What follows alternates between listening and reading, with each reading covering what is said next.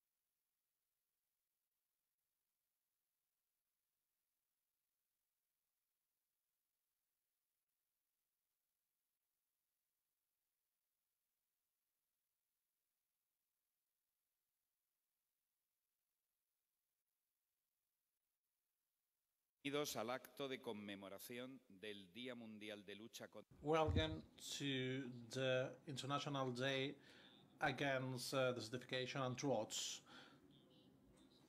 Our motto for this year is raising up together from drought. This act, event will be presided by Pedro Sanchez, President of the Spanish government, accompanied by Teresa Ribera, Vice President and Minister for the Environmental Transition and the Demographic Chal- Challenge, Jose Manuel Albares, Foreign Minister, European Union for, and for the European Union and International Cooperation, and Jose Luis Escrivá, Minister for Inclusion, Social Security and Migration. In order to start, I'm going to ask Ibrahim Thiaw, Executive Secretary of the UNCCD, the United Nations Convention Against Desertification, to uh, take the floor.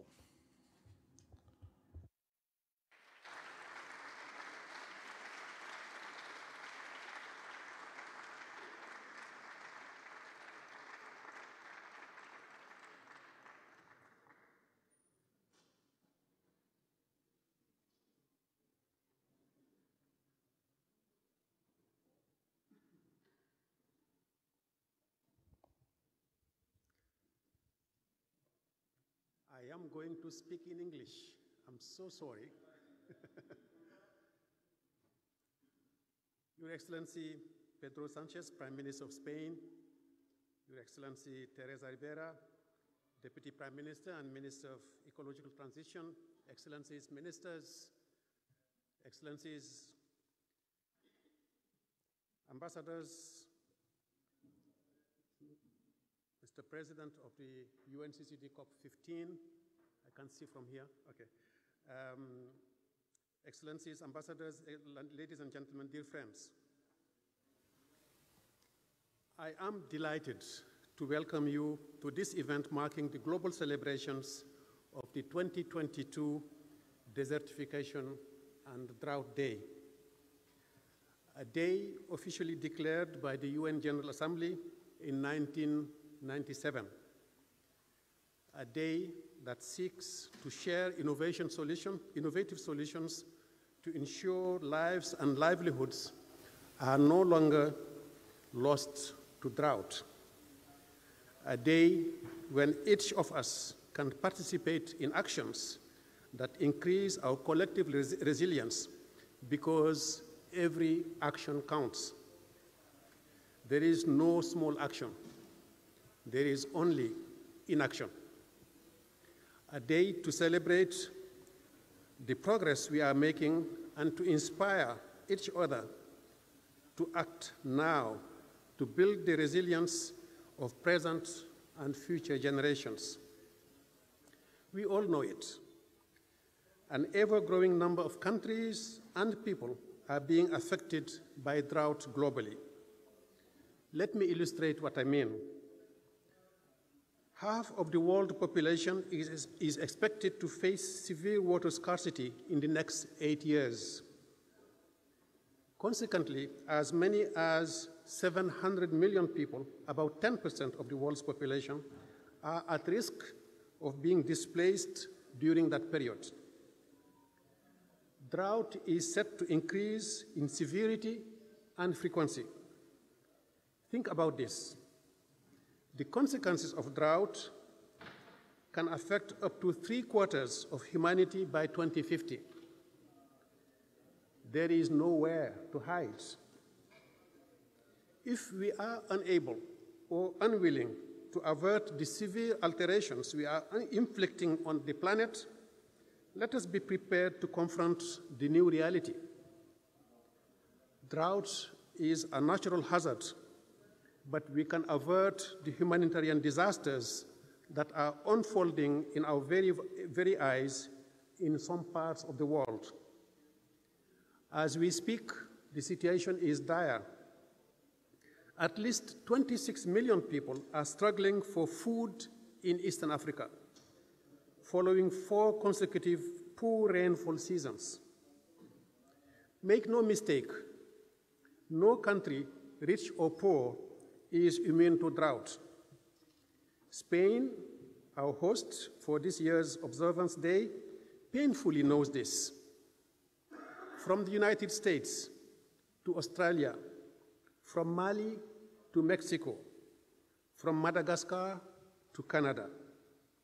Droughts has multiple nicknames, forest fires, and I'm so sorry with the forest fires that are occurring as we speak, and, for, and firefighters are fighting day and night to stop them in Spain. Forest drought has multiple nickname, nicknames. Forest fires, I was saying, food and energy shortages, forced migration, civil unrest, water rationing, to name but a few. We need to further build our resilience to droughts. When climate, with climate change, they are likely to appear more frequently, and when they do, they to hit harder. In this sense, commitments made by countries to restore 1 billion hectares of land, of degraded land, are a step in the right direction. Indeed, we need to protect and manage the land. Without healthy and productive land, livelihoods and jobs will become increasingly precarious. Uh, precarious. Younger people will be left without, with fewer prospects. At the last UNCCD conference in Abidjan, the 197 parties decided to act on drought together, another step in the right direction. They agreed to establish a new intergovernmental working group on drought, which is responsible for identifying concrete policy actions. There is high hope that at the next conference of the parties due for 2024 in Saudi Arabia, parties would agree on a meaningful policy action to mitigate the growing impacts of drought. Just a couple of weeks ago, the US government announced its plan to elevate drought and water security to a strategic international policy level. This is inspiring. Prime Minister Sanchez, I want to thank you for, and the government of Spain for your great hospitality. In particular, I want to thank you for helping us remember that yes, droughts and their effects can be devastating, but they do not have to turn into human disasters. Preparing in advance is far cheaper than reacting and responding to impacts after droughts hit. We should therefore set up effective early warning systems and mobilize sustainable finance to improve drought resilience. The good news is we know what needs to be done to drought-proof our future, but the time to act is now. As the rallying call for this day is rising up from drought together, let me conclude with an African proverb. If you want to go fast, go alone. If you want to go far, go together. So together, let's go, let's go faster and further. I thank you very much.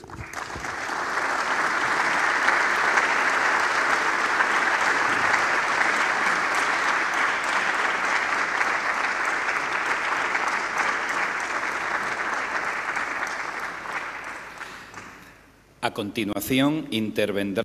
Now we will have Patricia Kombo, founder of the PaTree Initiative and land hero of the UNCCD, the United Nations Convention Against Desertification.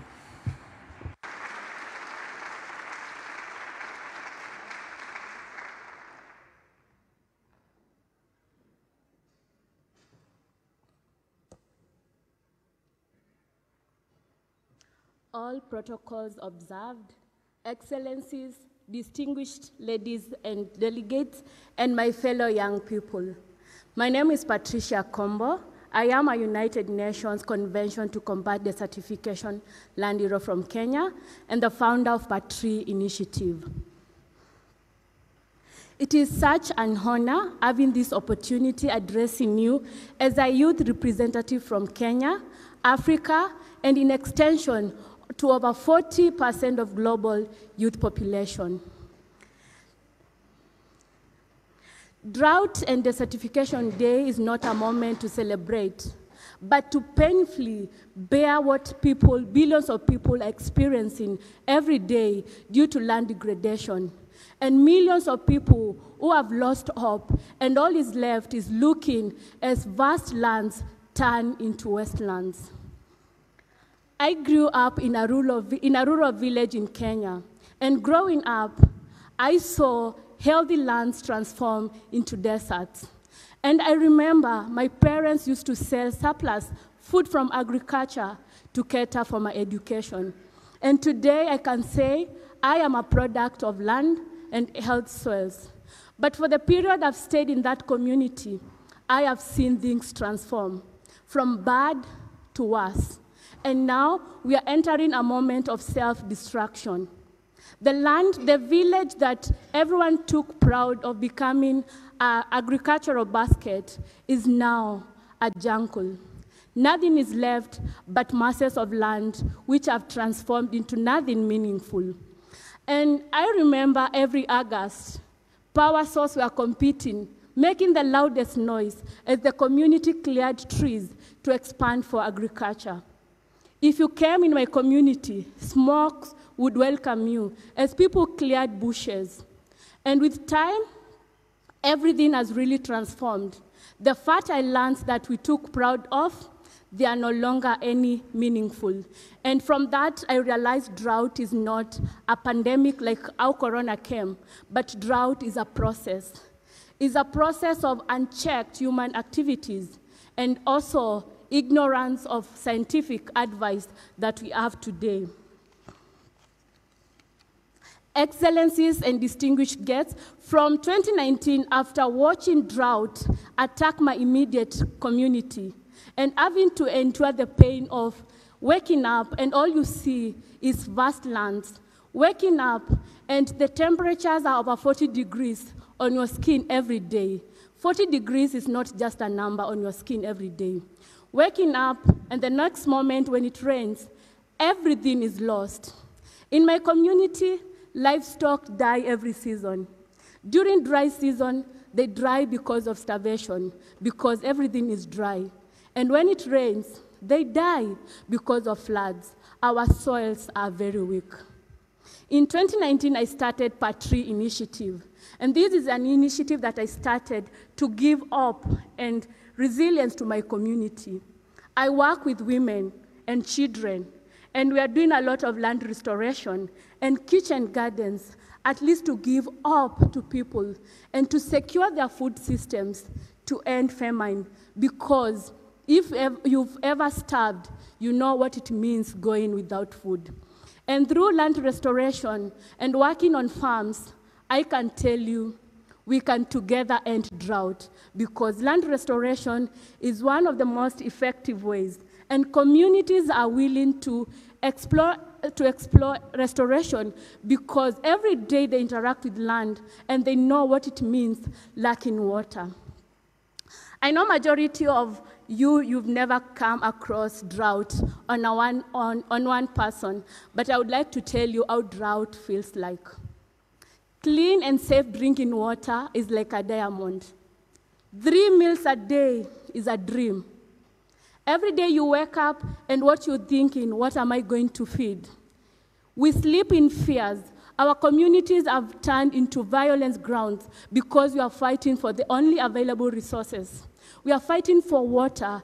A woman has to walk 14, over 14 kilometers looking for water, and what they bring home is dirty water. But it gives us hope because that is what we can take.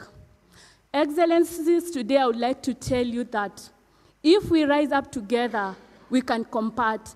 And in the past, people thought drought was an, an African issue. But today, I want to tell you no country is prone to drought. Every country is now experiencing drought and or impending desertification. And no country should stand and say, we can act. The time to act is now, and acting means early preparations. In COP, UNCCD COP15, I had a chance of speaking to ministers and presidents, and what I told them and asked them is any single inaction of any leader, policymaker, or any person will never be forgiven by young generations because I am bearing the brand. I am inher- inheriting degraded landscapes, something that I did not resort them to. And today, as we commemorate this day, I would like to tell you what rising up from doubt means to me. It means feeling in your heart what we people in dry lands feel every day. Bearing in your mind what people in Somaliland and in East Africa, who, who today are in their fourth year of consecutive drought, feel every day. Picturing a child born today and the fate of their future in a community where everything is vast. And after you feel it in your heart, you will be able to rise up together. You will be able to take single actions as an individual, as a young person, as a policymaker, as the prime minister, and together you'll make Spain a better place where a young child born today is very proud of the land and they know that the future and the next generation will have a land that they will call home. And I would like to leave you with one spirit, with one quote. And it says, in the spirit of Ubuntu, we cannot rise up when we do not have togetherness. And it says, I am because we are. And if you believe in that, together I am so sure we will rise up together and end this slain called drought and desertification. Because if we fail to take action now, if we fail to, to rise up together, if we fail to embrace the spirit of Ubuntu, the next pandemic will be drought. It will be more worse than what corona we felt because millions and livelihoods of people depend on land. The food we eat, the air that we breathe, the clothes that we are wearing, all these are courtesy of land. And if we fail to take action, drought will not only affect livelihoods and food systems, but we will feel the impact on public health, transport, energy, our economies because our economies rely on the land. And if we fail to take action, every day we will not be talking about livelihoods, but we'll be talking of lives lost. So any action taken today, it will ensure a life is saved, a livelihood is secured, and a livestock, both wild and domesticated, are kept alive. Will you rise up together for drought? Thank you.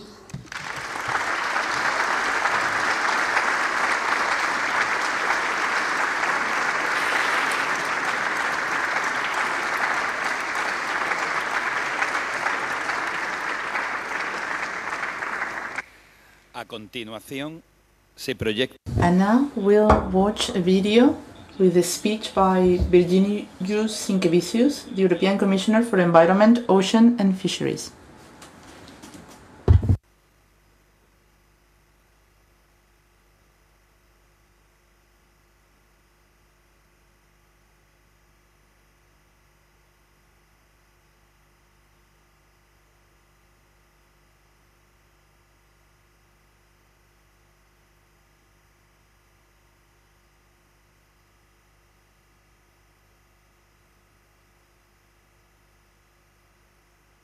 In a crisis, we listen to the science. Desertification is becoming a massive crisis, with fertile lands turning to dust all around the globe. At a recent UN meeting, over 130 countries voiced their concern. Europe is suffering too, and not only in the south. Every year, 15% of our land area and 17% of our population are now affected by drought. These numbers climb higher every year. And the fundamental reason is clear our actions are warming the planet. At the Intergovernmental Panel on Climate Change, scientists speak of a brief and closing window to secure a livable future that has to start with cutting emissions. We have to go carbon neutral. But there are many other areas where we can turn things around. Those scientists also call for urgent action on ecosystems that have been degraded.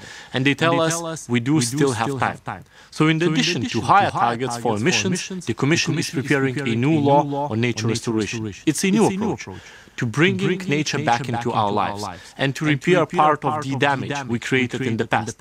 It comes with EU-wide targets and specific actions for particular types of landscapes. That includes, for instance, restoring wetlands, removing obstacles so rivers flow freely, and ensuring that flood plains can play a role. By retaining water like a sponge, they can lessen the impacts of both floods and droughts. Because when we work with nature and not against it, we get multiple benefits for climate, for people, and nature. We need to step up the implementation of these nature-based solutions and cleverly combine them with technology and societal approaches. It won't be easy, but it's also a huge opportunity. It's a chance to build the future we want by preventing land degradation before it happens and promoting the sustainable use of land, we are heading in the right direction towards a future of food security, soils that stay fertile, and a society. That's resistant to shocks. And that is the future we need.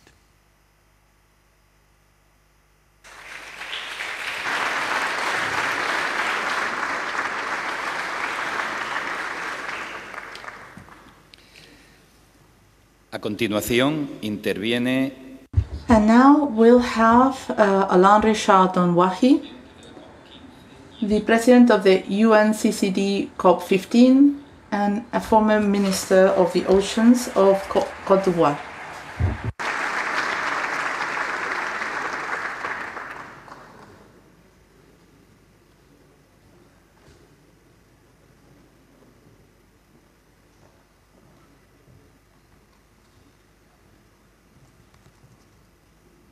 Your Excellency President Sanchez, quería hablar en español, pero mi hermano I wanted to speak in Spanish, so I will speak in English. Your Excellency, Your Excellency Vice President Ribera, Excellencies, dear Executive Secretary, ladies and gentlemen, I'm pleased to be with you today in this beautiful and uh, welcoming city of Madrid to celebrate World Desertification and Drought Day. As a former Minister of Water and Forests, the challenges of uh, desertification and drought are close to my heart. I'm aware of the responsibility that is ours in the face of climate change, but also in the face of history, in the face of those of these hundreds of millions of individuals who living, whose living conditions are deteriorating due to drought, desertification, and soil degradation. It is not by chance that in most countries, years of drought are listed as years of economic downturn. Most countries have their economies essentially dependent on the primary sector. This means they depend on a thin layer of soil and a few millimeters of rain. When the rain does not come on time and in quantity, it causes ma major disruptions. When this is coupled with uh, soil that is degraded, the crisis can turn into a disaster. This is why I'm happy that the Abidjan Legacy Program was announced by President Ouattara at the Heads of State Summit during the 15th conference of the parties to the UNCCD last May in Abidjan in order to integrate sustainable soil management and restoration into development strategies. The threat caused by droughts unites us. As today's theme reminds us, rising up from drought together is an important start.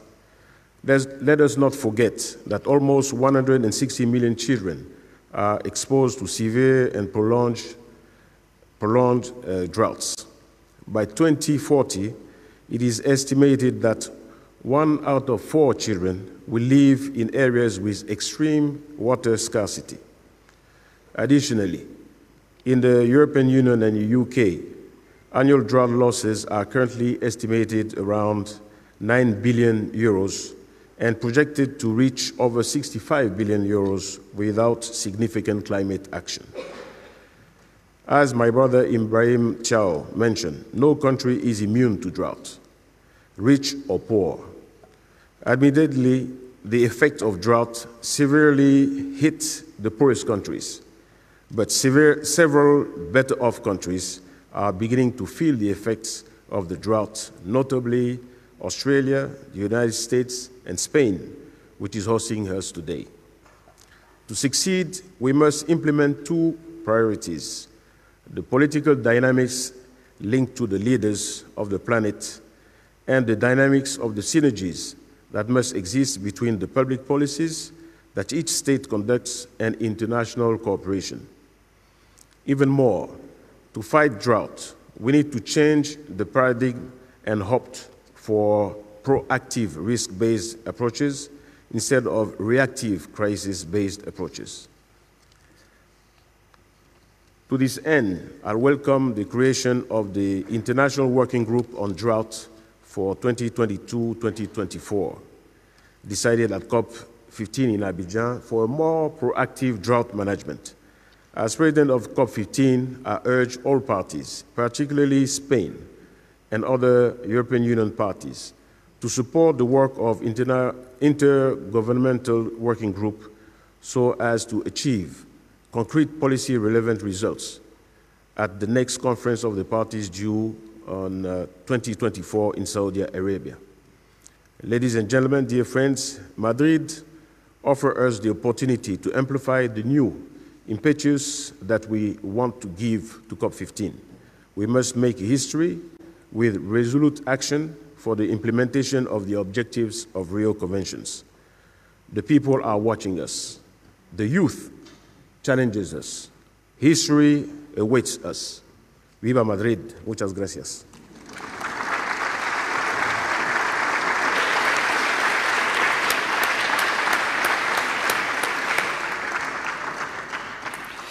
A continuación se proyecta un vídeo. Now we will be seeing a video by Antonio Guterres, the Secretary General of the United Nations.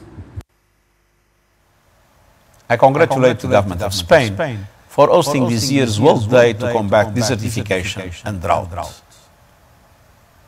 Drought in all regions are getting more frequent and fierce. The well-being of hundreds of millions of people is being compromised by increasing sandstorms, wildfires, crop failures, displacement and conflict. By mid-century, three quarters of people could be living with drought. Climate change bears much responsibility, but so does how we manage our land. Half the world's population is already coping with the consequences of land degradation, with women and girls paying the highest price. We can and must reverse this downward spiral. Ensuring the productivity of land and soils is an inexpensive, pro-poor way to combat climate change and improve the livelihoods and well-being of the world's poorest and most vulnerable people. Empowering women and landowners is also a game changer for land restoration. We can restore land for a fraction of what is currently being spent on the env environmentally harmful subsidies. Every dollar invested in restoring land can generate 30 times that much in benefits. In Africa, the Great Green Wall of the Sahel has already restored millions of hectares of land and created thousands of jobs from Dakar to Djibouti. But much more needs to be done. Taking care of our land and its biodiversity can help address the climate crisis and assist in reaching all our sustainable development goals. Let us act now to drought proof our future. Thank you.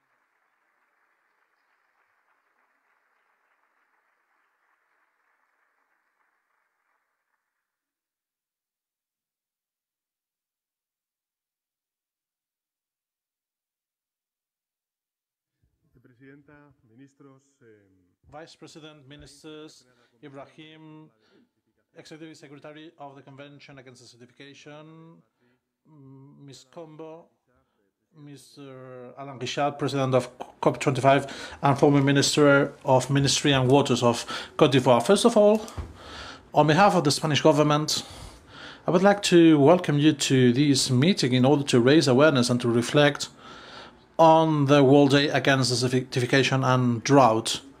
28 years ago, on June 17th, the, the, United Nations Convention Against Desertification was approved with a consensus of over 100 nations. It's an honor for Spain to have been chosen as the United Nations General Secretary to, to have been chosen to foster this uh, idea, which is to rise up together against drought. We are suffering a special and unusual heat wave in Spain for this time of the year, by the middle of June, with extremely high temperatures in the Iberian Peninsula and the Balearic Islands. So we need to be alert. I would like to make use of this place to call citizens to extreme precautions, especially during the middle of the day to avoid to be overexposed to the sun, to drink water and to take care of those most vulnerable so let's take care of ourselves and let's take care of our environment. Let's extreme precautions against wildfires. Let's protect our environment and let's think about all those that are that have their life at risk when fighting wildfires and uh, now they need of our collaboration, the collaboration of all citizens and public institutions. We need to think about those that will have to do that during the summer and in let's all work together in order to prevent this heat wave and wildfires that we are suffering. Many times we talk about heat as an anecdote. We say that we didn't have any spring, or we even compare the historical temperature records. But then autumn comes, and we do not remember that again until the next year when we see high temperatures again sooner. We see that uh, temperatures reach 34 degrees when we are just in the middle of June. So, we are seeing temperatures that not only an anecdote, they have adverse effects on the environment of our countries, like the consequences that we will talk about today. This is why the World Day to Combat Desertification for me is an opportunity to put the focus on the way that we have to analyze these uh, symptoms uh, in the framework of the challenge that we are all living, that is the adaptation and mitigation of climate change. This is a process that is undeniable. this is a scientific evidence, and denying climate change is something irresponsible and an insult to the intelligence of our society.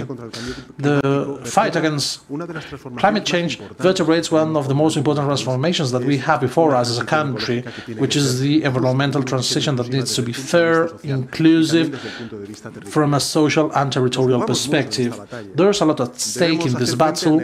We need to face negationism and, and its consequences. Some people talk about climate religion, about climate fanatism, but there is no uh, graver uh, fanatism than those that question climate change. The only responsible way to act is to do it in a sustainable way by protecting the planet in our uh, environmental transition. There is no plan B because there's not a planet B, as young people say. Global warming increases extreme uh, meteorological events as the heat waves that we are suffering now. And I would like to give some data to assess the situation that we are living and what we are facing. The sixth report on the IP of the IPCC shows that changes due to human activity have increased in their frequency and, uh, uh, and severity. The Mediterranean region is one of the most affected ones, and we see here more clearly the human influence on the environment. An increase of 1.5 degrees in temperature would double the frequency of droughts. We, we have droughts every 10 years, and with an increase of 2 degrees, droughts would be 2.4 times more frequent. And if we do not reduce the emissions of greenhouse gases, one third of the surface of Earth will be affected by moderate droughts uh, um, before 20, the year 2100.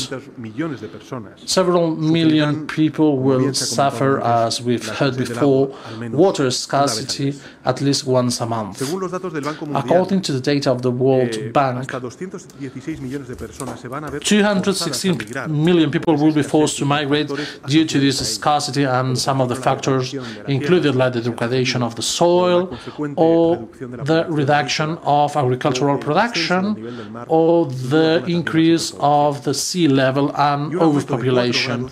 An increase in of 4 degrees that would imply that 50% of all the inhabitants in the planet would be affected by droughts.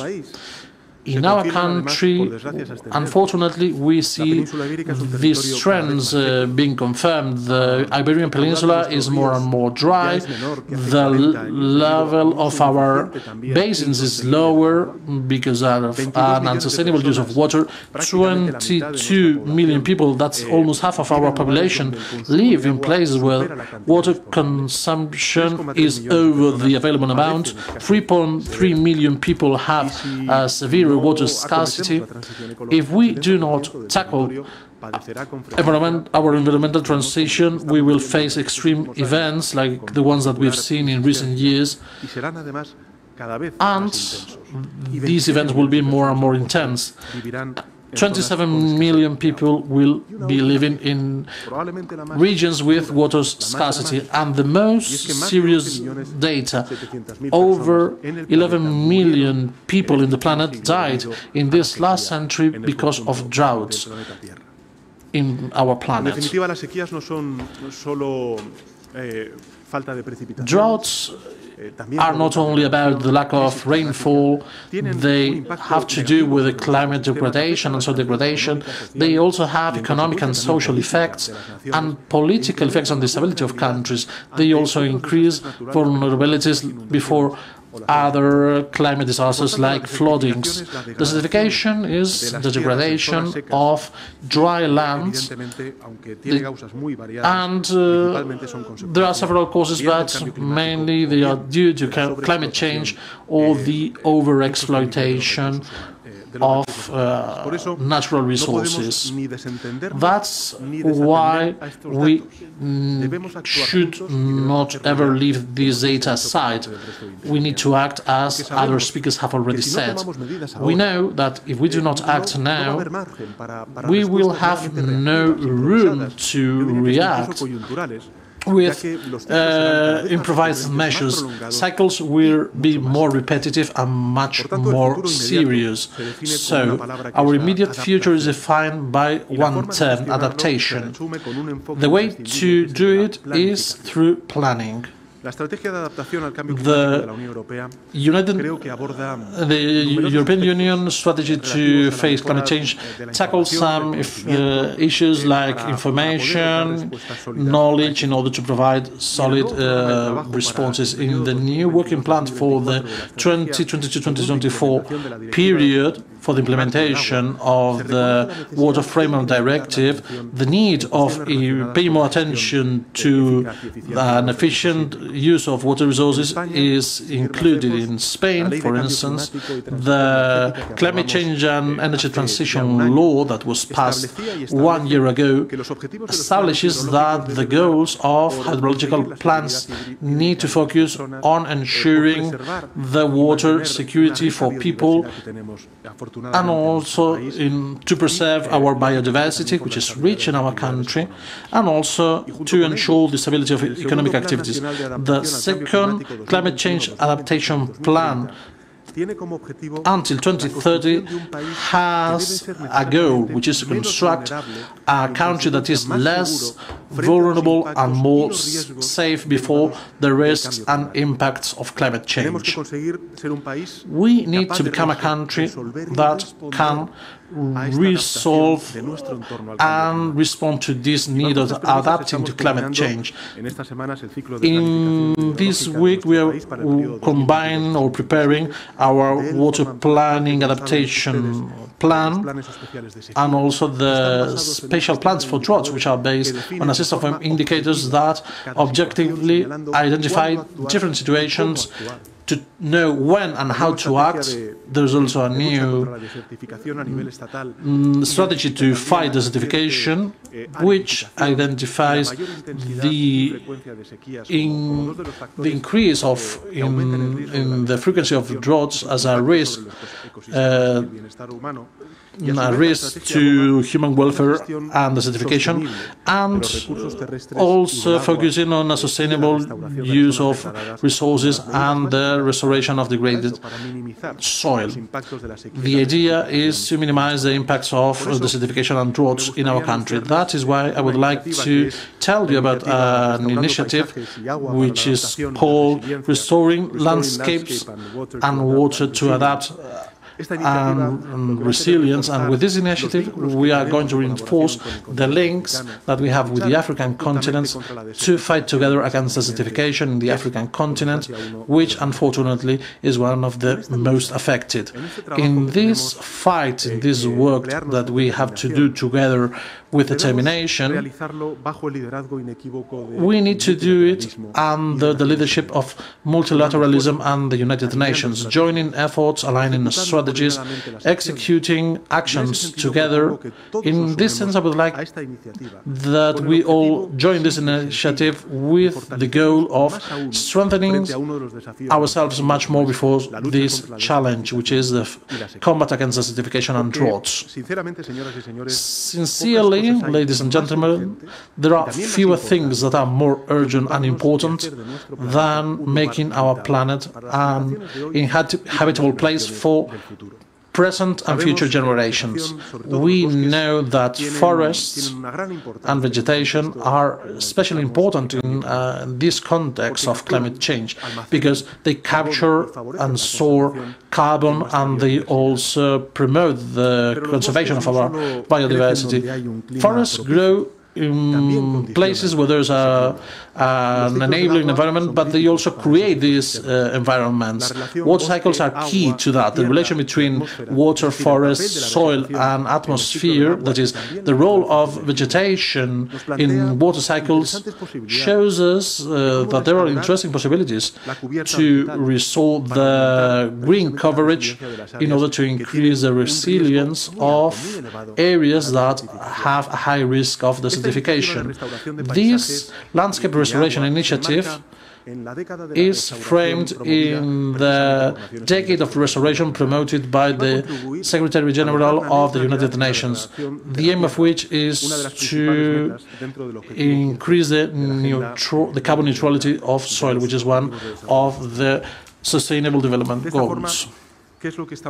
What are we going to do through this? We are going to prioritize the restoration of the water cycle while we also focus on the capture carbon capture and storage, and also food uh, security.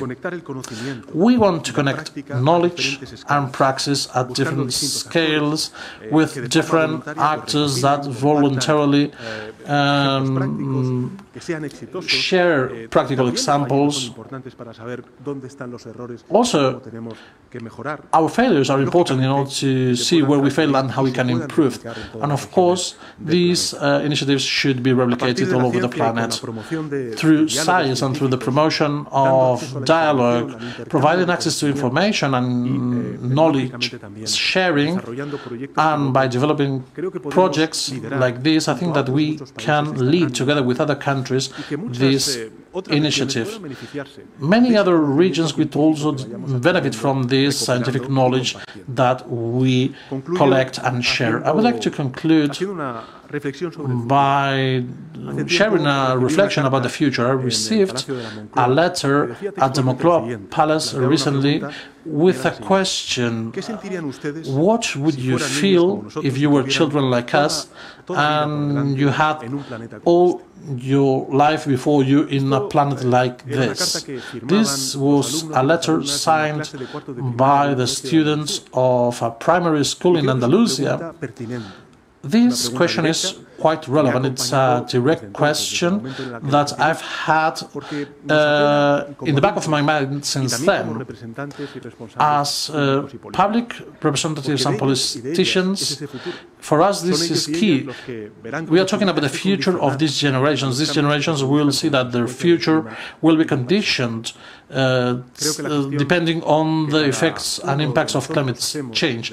Our reflection about the way that we use the soil has an effect on these extreme events that we are seeing, like heat waves or droughts, uh, like the heat wave that we are living in the Iberian Peninsula right now. So it's up to us uh, that this planet is inhabitable in the future. So let's uh, rise up together against droughts. Let's fight climate change because, without doubt, it's our biggest challenge. As Mr. Guterres said, this is more urgent than ever. Thank you very much and congratulations for this meeting here in Madrid.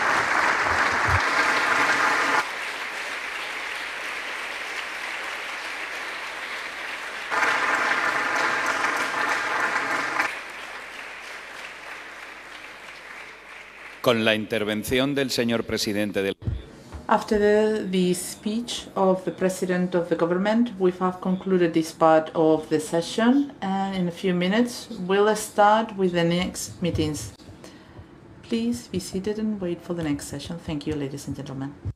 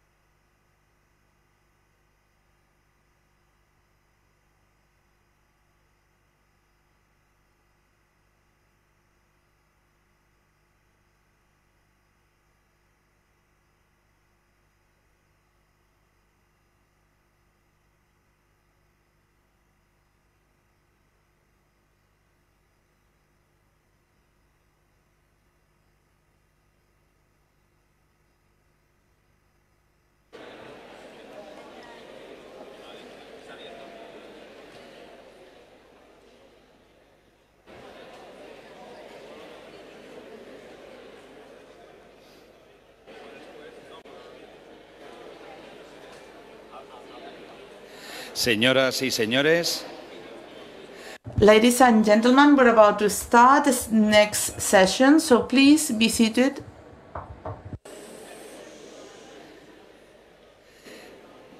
tengan la bondad de incorporarse a sus asientos. Please do be seated. We're about to start the next part of the session.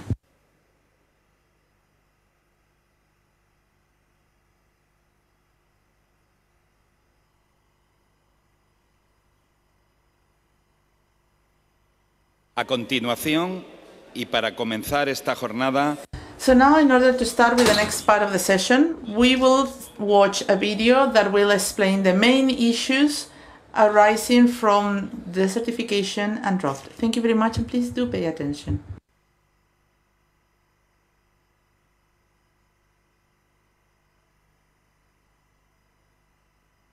Yes, yes.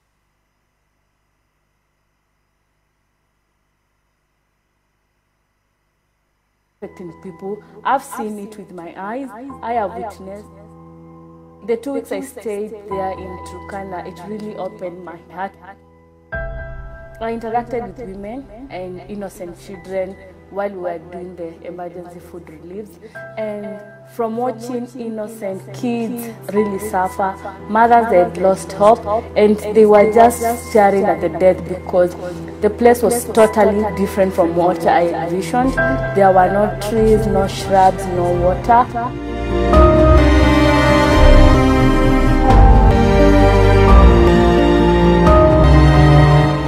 I'm an agricultural meteorologist by training, and one of the stories I can share with you is being a graduate student in the state of Iowa in the United States. And this was during the uh, really bad drought in 1998. Uh, as a graduate student, of course, you have to do a lot of things, which were very interesting. But one thing I had to do was make uh, gravimetric soil samples, which means you had to take a sort of a, a turnkey screw and do about 10 different levels, about six feet down or about, you know, maybe a meter. And it was a drought, I think this was in the spring, and at basically foot three, just a little over halfway, I had to start, you know, using a sledgehammer to get any kind of, you know, movement of the probe into the soil. So that's one of my, you know, first-hand experiences of, of drought uh, and, heat waves. Um, and that was pretty bad. And of course, that uh, was a pretty big impact on, on the U.S. agricultural production that year. In Chad, the desert is advancing 4 kilometers every year. That means by just a few decades, my capital N'Djamena will be under the desert. Nosotros eh, tenemos graves consecuencias en la región eh, los cambios que están afectando el cambio climático, los cambios que estamos viviendo los pueblos indígenas, los cambios que vemos en los territorios por el tema de la sequía, los cambios las temperaturas altas, realmente está afectando al tema del bosque, a nuestra alimentación y a, a, nuestra vivencia, no solo en la región amazónica, sino en la región andina, que los conecta, los ríos, la, las fuentes de agua, y también para el tema de, la, de los cultivos, para el tema de, de la alimentación. Related to um, uh, South Africa, we are one of the 30 driest countries, receiving just over 850 millimeters of rainfall per annum. Cape Town, South Africa could become the world's first major city to run out of water. No city in the world has had to deal with such a situation. La desertificación la tenemos instaurada en nuestro territorio. La orografía en la que nos situamos, la olla de Baza, la olla de Guadí, rodeado de altas montañas como puede ser Sierra Nevada con más de 3.000 metros o la Sierra de Baza por encima de los 2.000, hacen que las borrascas cuando vayan a llegar a nuestra comarca se desplacen. De aquí tenemos el desierto a muy pocos kilómetros, el desierto de los Colorados. Tenemos una zona donde las, precipita las precipitaciones son muy bajas. We receive a very small amount of rainfall in our area. Therefore, our ancestors designed a sustainable way of living to cope with the drought. Unfortunately, desired-based consumption is altering it. Resulting to it, land degradation has risen. Hemos transformado un campo estepario de superficie de cereal principalmente a un campo principalmente ahora de almendros. Eso sin duda pues nos hace que nuestro terreno esté eh, sufriendo unas modificaciones. Si no sabemos adaptar ese cambio de cultivo a la degradación y podemos parar esa degradación, bueno, pues mm, podremos tener un, un grave problema en años futuros. We have in the end realized that drought is not going anywhere. And one thing that I would also tend to say is drought is expensive. It makes economic sense to, to invest in drought measures in non-drought times, then we can really minimize its impact.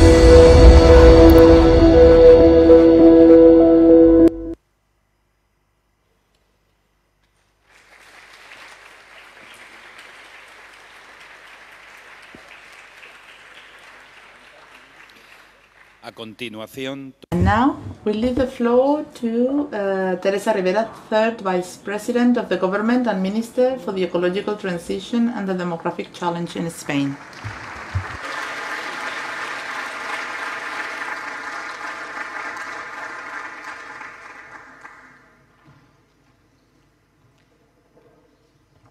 Muy buenos, muy buenos días a todos. Good morning to everyone, and please feel welcome to Madrid. Viva Madrid, and viva so many other places in the world, dear Ibrahim, Executive Secretary of the UN Convention to Combat Desertification, dear participants,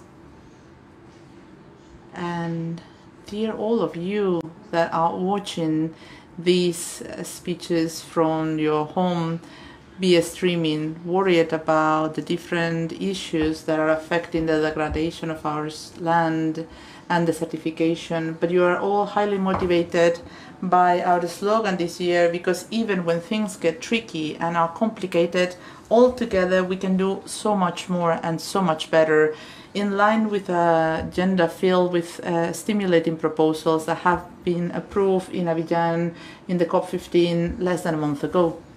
You're all here connected, following the session. We have been very lucky to be invited to host this um, World Day to raise our voices, filled with our commitment, saying together with the United Nations that is time to act. It's time to understand that this worry about the degradation of the land and the rivers, the risk of desertification, the concerns due to drought, and the need to be ready to face these challenges, offering responses to reduce the vulnerability, are the ones that should have the public space they deserve in terms of knowledge, of the dissemination of such knowledge, to be prepared, to be ready with a clear public and private commitment. It's not easy to face a challenge as difficult as this one if we do not understand and know precisely what is going on in order to be prepared if we don't have a general uh, agreement and commitment by the whole of the society to work in this area. This is not just a local issue. This is something that affects us all. This is something where the coordination of local, regional, uh, national, and global action is key. This is a problem where we've learned a lot. We are so much more able to intervene, to find solutions compared to other of the main issues that we face today. And this might be the main message of hope. Patricia was talking about the restoration of the land, of the ecosystem, and that's the message that mm, the United Nations wants to highlight this year. That's why for us, as I've said, it's a great honor to be hosting this World Day. For that reason, I want to thank the Executive Secretary, Ibrahim Thiaw, for trusting us to continue with the work that has been done in Abidjan by our colleagues and a work that will be continue action after action, year after year, until the moment we reach the 2024 uh, COP in following this role and all these different targets that we have. In this second session of this morning,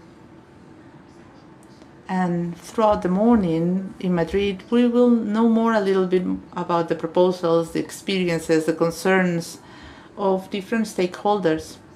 We know that more than 70 countries in the world are now living the effects of the frequency of the droughts, but not all the countries are suffering drought in the same way, and not all the countries have the same capacity to react. In many places in the world, uh, long-term drought can become an issue for for human life. It can lead to poverty, to famine. It can need years of investment and hard work in order to create progress and development. And it's also true that research and knowledge, the different models on climate change, as well as understanding the different dynamics that explain us how by changing the use of the land offer us all the information that we need in order to create the alert system that should help us. The data that we already have and that has already been mentioned in the first speeches this morning explain the number of people that will be affected by severe drought the amount of people that will suffer the effects of the degradation of the land. These are reasons enough to start working even harder on this topic the assessment of the impact of these areas like the Mediterranean, which are in the middle of a climatic transition, are something to be worried. It's also true that the countries as ours that are becoming more used to living with the drought are a little bit more used to this and therefore better prepared to offer solutions to mitigate the impact and to do so in a more preventive way we cannot ignore what we have learned so far. We have to put them in practice because all these different barriers and hurdles that we find when we want to change the use of the lands and we add to this mix the climate change as well as other alarms that have to do with water stress and scarcity. These all explain how fundamental it is to work regarding the issue of droughts. Maybe the public opinion hasn't understand the full dimensions of these issues. Not in all the countries, but some countries do understand very well, as Patricia mentioned, what a drought really means. Not all the countries have that information because there are some immediate impact, but also long-term effects that uh, that get accrued and increase the cost and the difficulty if we want to restore the quality of our soils. That's why if we want to do something, we need to start now. Climate change and the social economic development require us to work all together, integrating climatic risk and the degradation of land in the different laws that we have for land use to guarantee that the use of natural resources is sustainable, but also to work together with our communities, with our societies, to be ready, to prepare them for resiliency, to be able to react, all of us, the whole of the citizens of a country. In Spain, water and drought ratio is a classic issue. As any other country in the Mediterranean basin, we have specific complicated periods in which we have to think about what to do with ir climatic irregularity. And in fact, our water planning doesn't use only the average scenarios. We're also using extreme cases in order to know the amount of water we have, what can we do, how can we react when there's a floods or when there are uh, extreme severe droughts. We're working with these scenarios because we need resources and policies that might be extraordinary, but also we need to be ready before anything happens in order to know what we have and what else can we do. How can we be smarter, more efficient in using our resources? How can, by doing this in a proactive manner, be able to respond even before the crisis and to work all together at a regional scale and level as well? As the president of the, government mentioned, we also have better policies regarding the land use and the use and management of water at an European level.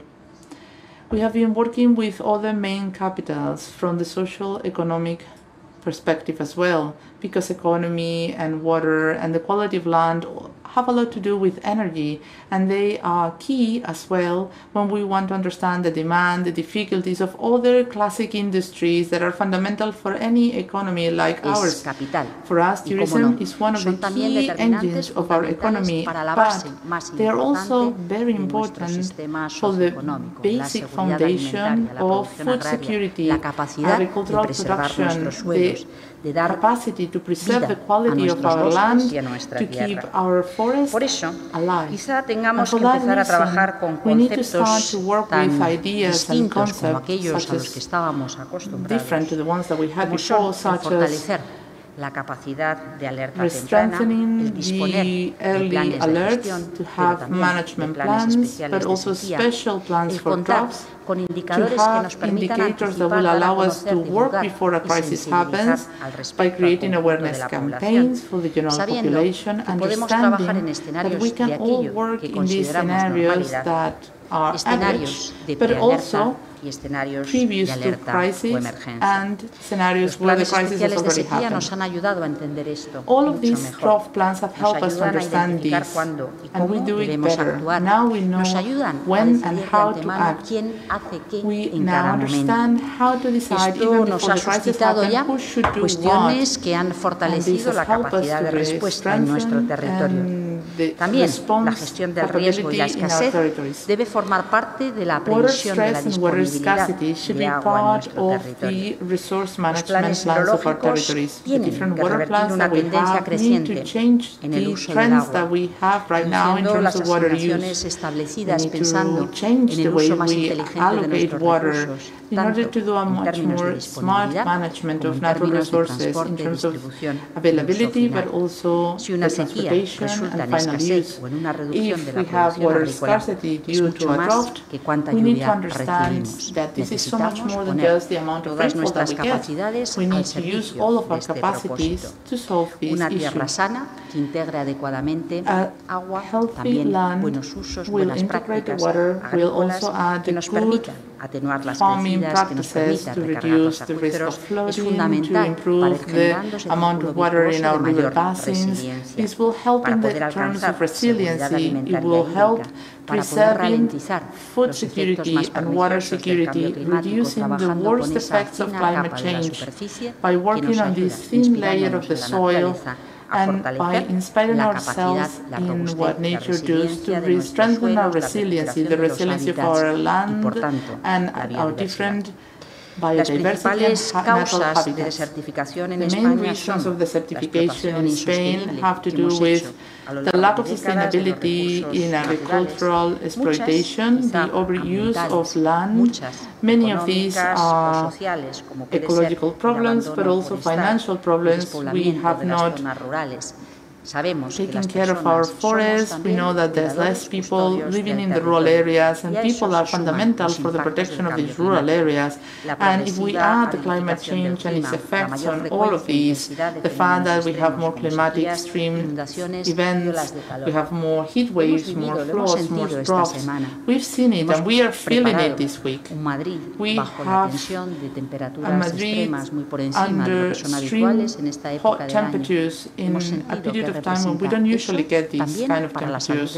And we know what it means for the health of the population, the well-being of this population and their everyday life. This has also an impact, as Patricia mentioned, on everything that we do. We therefore understand how fundamental it is to reduce the causes that are giving us these damaging effects that are making us understand that we need to exist with whatever lingers in the planet after all these extreme events.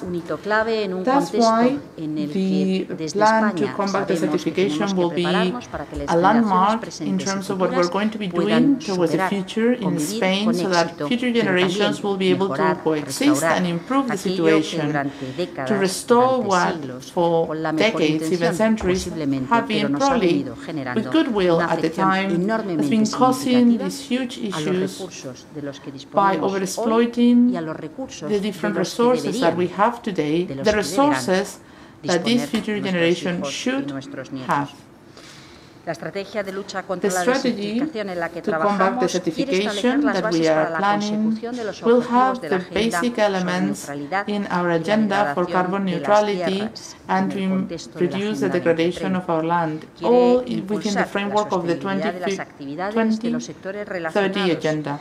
This will include the different industry that have to do with this fundamental task of protecting the quality of our land, implementación de la legislación y working towards the implementation of the European laws and directives to improve the innovation as well as the awareness in our general population. We also want to become an element that will help us to connect with our neighboring countries. trabajar a nivel The president mentioned that to work at a regional level is subrayando que esto fundamental. But as I said at the beginning of my speech, this is not just a local action. Forget about that. Our general well-being nuestros vecinos. it's Trabajar a depending, escala depends upon the well-being of our neighbors. We need to understand that different actions need all this knowledge. We have that knowledge, we have that information, we have the resources, and it's fundamental to have them. As our dear Ibrahim mentioned, to develop this en el contexto de umbrella la Convención de lucha within this context, in this fight to combat desertification, will allow us to have a better governance, but not just that. Even if we don't have the culminada de esa tarea, accuracy to be able to perform the task, we already know today what we have to do. And for that reason, vecinos, en el we need to work with the neighboring countries and in the case of Spain, we need to work with our neighbors in Africa, in the Sahel, in the Mediterranean Basin, to work together with our European los que en neighbors, because in many cases, preocupación en torno this worry, degradación de la this uh, concern about the, the land degradation and the risk of desertification seems to be still mucho más a próxima, faraway mucho más inminente, mucho más challenge, but it's traumática here and de it's lo que, more a pesar de imminent todo, than es what they visible might en nuestra agenda. see or think. Este año, desde España hacia el mundo, In Spain, con mayor this motivo year, todavía, queremos we que want combatir la escasez de to agua, make sure la that degradación del fighting suelo, water scarcity and land degradation should be the mejor de los reason to help us to move towards the best scenario gracias por estar possible. Thank you for being here this morning. Thank you to all the participants in the redondas que se different formarán round a tables that we will have now. Thank you, compañero, presidente de dear la COP15. Mil President of the Ibrahim. Mil COP15 gracias, Elena, and dear por esa tarea tan Ibrahim, dear importante que desde Elena, for what you've been doing in the FAO and all of you that are here today, dear friends. We need a better, safer country, more humane country that falls la química y within the limits ecosistemas nos toleran. put by science. Thank you very much.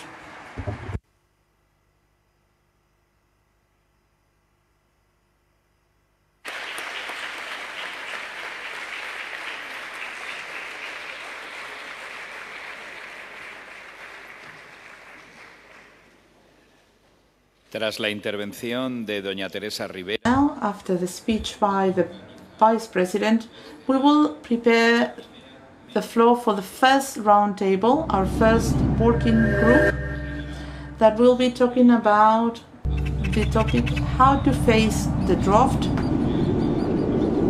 implementing and making real the commitments. We will have as a moderator Maria Jesus Rodriguez de Sancho, General Director of Biodiversity, Forestry and Desertification in Spain. I'm going to ask the different speakers to come to the floor as soon as the chairs are ready for them.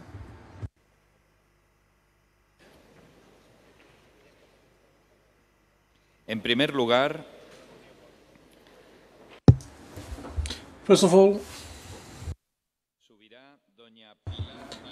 Ms. Pilar Paneque will come to the stage. She's the leader of the Spanish Citizens Observatory on Drought. She has a chair on human geography at the Pablo de Olavide University in Seville. We will also have Rafia Tia, Land Resources Director at the Ministry of Agriculture, Water Resources and Fisheries in Tunisia. We also have Elena Lopez Gunn, CEO of ICATALIST, and member of the second group of the IPCC on mm, climate change. And uh, finally, we also have Teresa Langle de Paz, Director of the Women for Africa Foundation and co-founder and co-director of the UNESCO Chair on Gender, Well-being and Peace Culture at the Wisconsin-Madison University. When uh, the technical arrangements are done, they will come to the stage.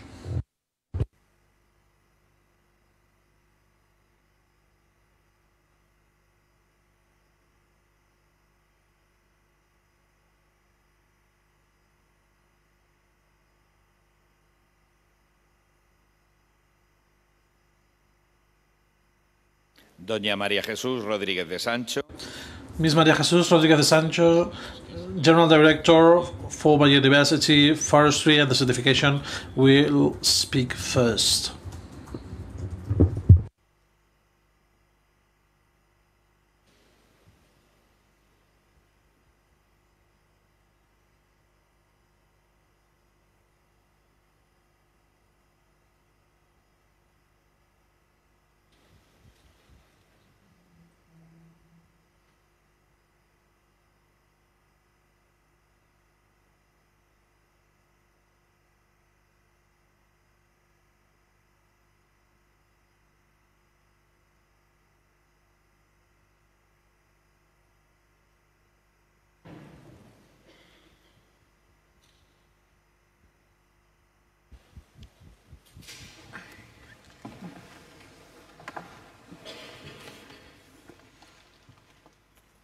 Bueno, muy buenos días. Good morning. Muchas gracias por, por venir a, Thank you very much a la celebración for coming to this Mundial de la celebration of the World Day to combat desertification and droughts. We are we have the honor the honor of hosting it here in Madrid at the Reina Sofia Museum. Thanks to the Executive Secretary of the Convention for trusting in us uh, to celebrate this day together here. For me, it's also an honor to be part of this round table somos todas mujeres y where we are all women and specifically four women coming from the world of science, from the academia, they are generators of knowledge and through their work a tomar mejores they are going to help us to make better decisions. En el lema que hoy estamos celebrando el Día Mundial And de today's motto at the World Day to combat desertification and droughts, uh, uh, rising up uh, from drought together, the idea is to share together all of us and um, for those who are following us para la esperanza, in the social motivo para la media, we want to share um, todo teniendo ese gen- our hope. There's a reason for hope, especially thanks to this knowledge, this data that we need, de gestionar los recursos and also que nos pueden llevar a superar las given the way that we manage our natural resources that can help us overcome the s- en todo el mundo. impacts of degradation and desertification we, that we find all over the world, more specifically, more specifically in some places, but uh, no one is uh, me free from this risk.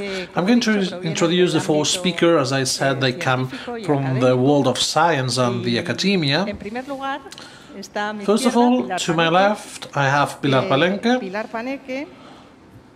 Es responsable del Observatorio is Ciudadano de la Sequía. In charge of the Citizens of Observatory on Droughts. She has a chair at the Pablo de Olavide University in Seville. Además, ha estado desarrollando uh, numerosos Besides, she's been at the head of several research projects and she's directed several PhD theses.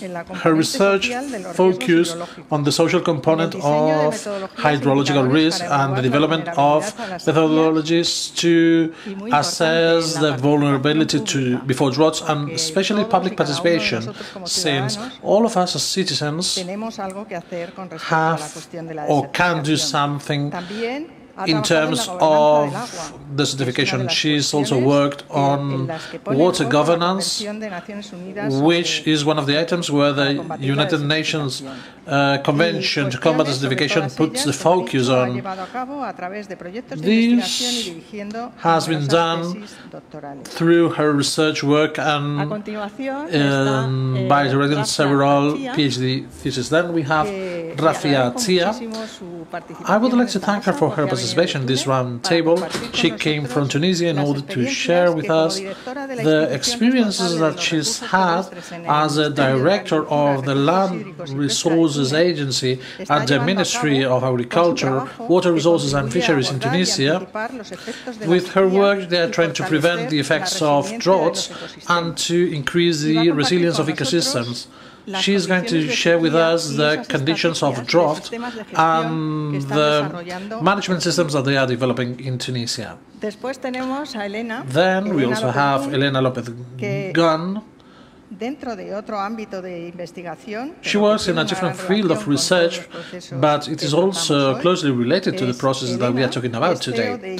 She's the CEO of ICATALIST and member of the Group 2 of the IPCC, the, the International Panel on Climate Change. She is a member of the European Union Advisory Body on Climate Change and also the president of a foundation on innovation. She is a collaborator of the Basque Center on Climate Change. She's been an associate professor at the Business School of the Water Observatory, the Botin Foundation, and the London School of Economics.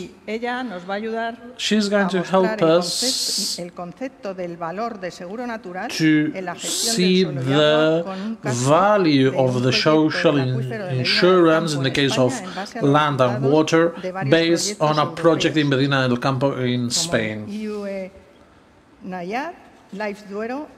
like uh, Life Duero and y others. por último, tenemos a And Teresa uh, Langle de Paz, finally, we have Teresa que Langle de Paz. Teresa es la directora de la Fundación She's the director of the Women for Africa Foundation and also the co-founder and co-director of the UNESCO Chair on Gender, Wellbeing and Peace Culture at the Wisconsin Madison University and she she has a PhD on Hispanic Studies at the Brown University. She will explain how important the gender perspective is in this context. I wanted to organize this roundtable by posing a question to each of the speakers so that they can share the success stories with us, the success stories that we need to know, and that we can transfer to similar situations afterwards, and then we will have some general questions for all of them. First, Pilar, Eh, dada tu investigación given your field of research eh, in the field of public participation, eh, comentarte la sensibilización del like público y la percepción de to los riesgos ask you about raise aware, uh, awareness raising uh, among the general ¿Cómo piensas que population, which is important to increase resilience. How do you think ¿Cuál es tu that citizen science can contribute in this field? What is your experience at the um, Spanish Observatory on Drought?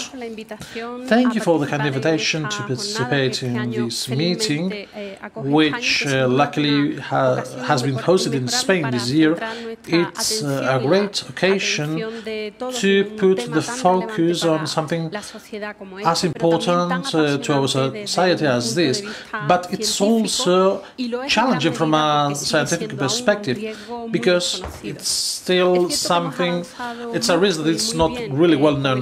We've made a lot of progress in the study and monitoring of droughts.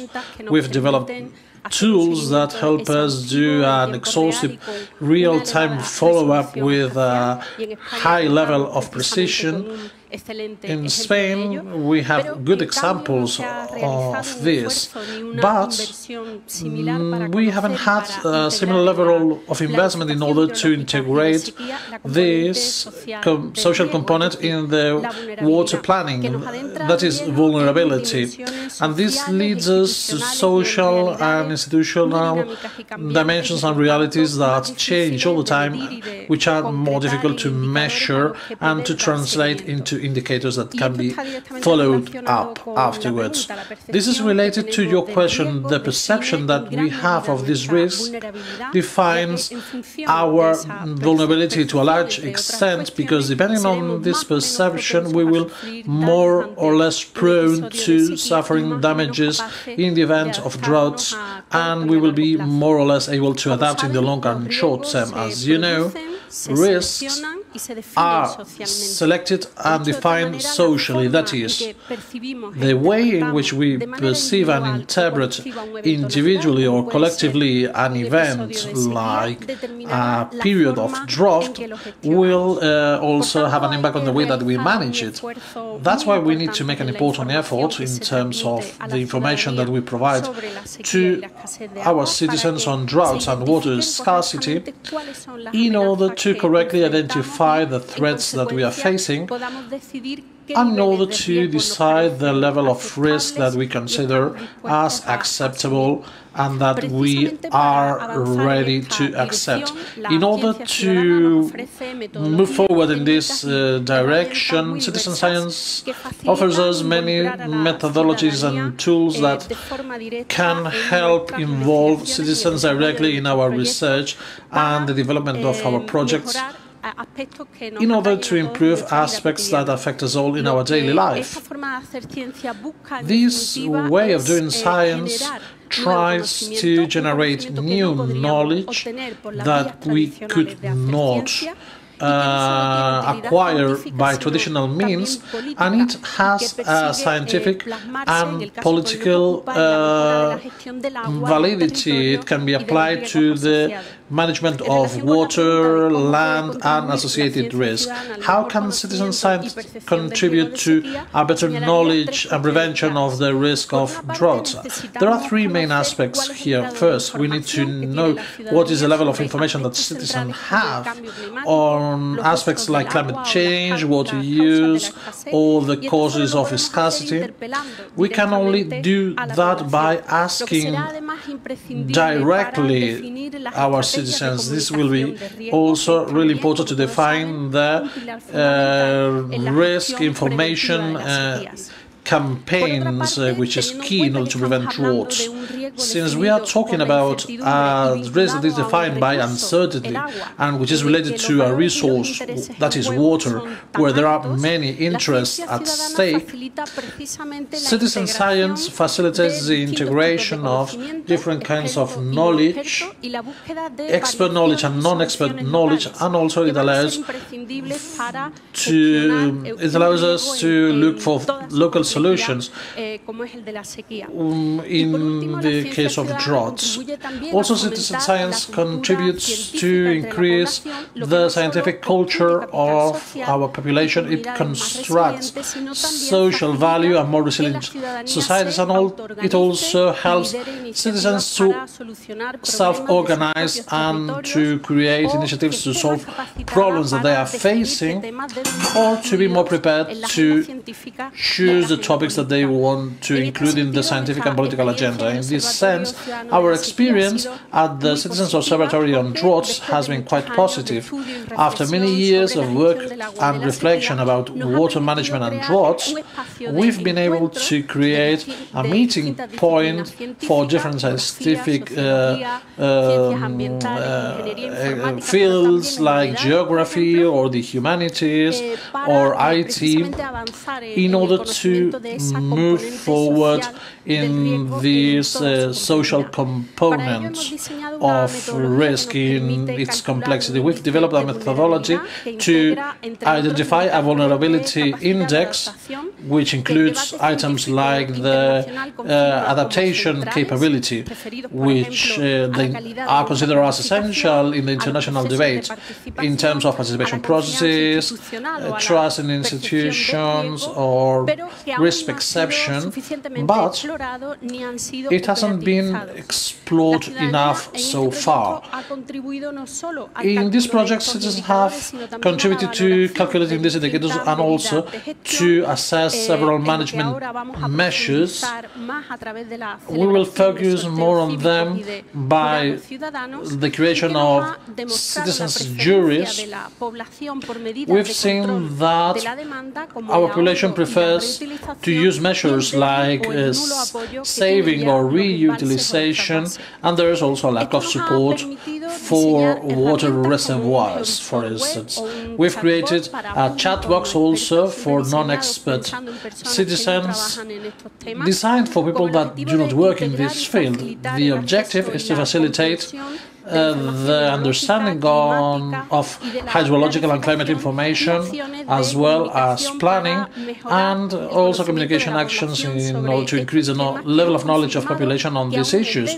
We have seen that it's weak despite the high level of data because there's been little awareness raising. As some uh, other barometers have shown, we've seen that the majority of the population do not know how the, the water is distributed among different users. Uh, irrigation can, uh, consumes most of, of, of, our water, and population try to save water at home, but we know that it's, this will hardly have an effect on water scarcity. So at the observatory, we try to offer information to enable a dialogue between politicians, uh, scientists, and our society in order to leave this catastrophic uh, view on drought and water scarcity aside, and in order to see it as a way to carry out important transformation and as also as a driver of the environmental transition. Well, it's been quite interesting what you, what you told us. Through your work, we can see what is uh, the awareness level of citizens, and it can also help us work all together in the same direction. So,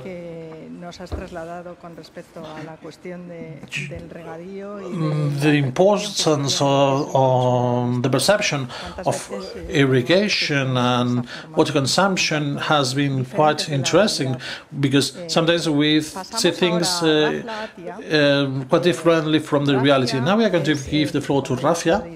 As I said, she's the director of the agency in charge of land resources. I think Rafia is probably going to feel more comfortable speaking in English. I will make uh, the question in English. Could you mention the main challenges related to draft management and governance that you face in Tunisia and explain the strategies and actions that you have carried out over the years to mitigate draft effects and adapt to them? Thank you. Uh, good morning. Uh, I'm Matia Rafla. Thank you for the invitation. I am pleased to be with you and uh, celebrate the World Desertification Day uh, and Drought Day. Uh, uh, I am uh, from Ministry of Agriculture of Tunisia and I am pleased also to uh, contribute uh, with you and uh, in this opportunity how to tackle, anticipate the effect of drought and strengthen the, the, resilience of ecosystem and to share with you drought condition and management system strategies in Tunisia. Tunisia is one of uh, countries that adopted during the United Nations Summit held in New York 2050 the agenda which sets the 70 Sustainable Development Goal SDG. So drought is explicitly taken into account in Goal 50, preserve and restore terrestrial ecosystem, ensuring that they are used sustainably, sustainably uh, manage forest, combat desertification, halt and reverse the process of land degradation, and end uh, the loss of biodiversity.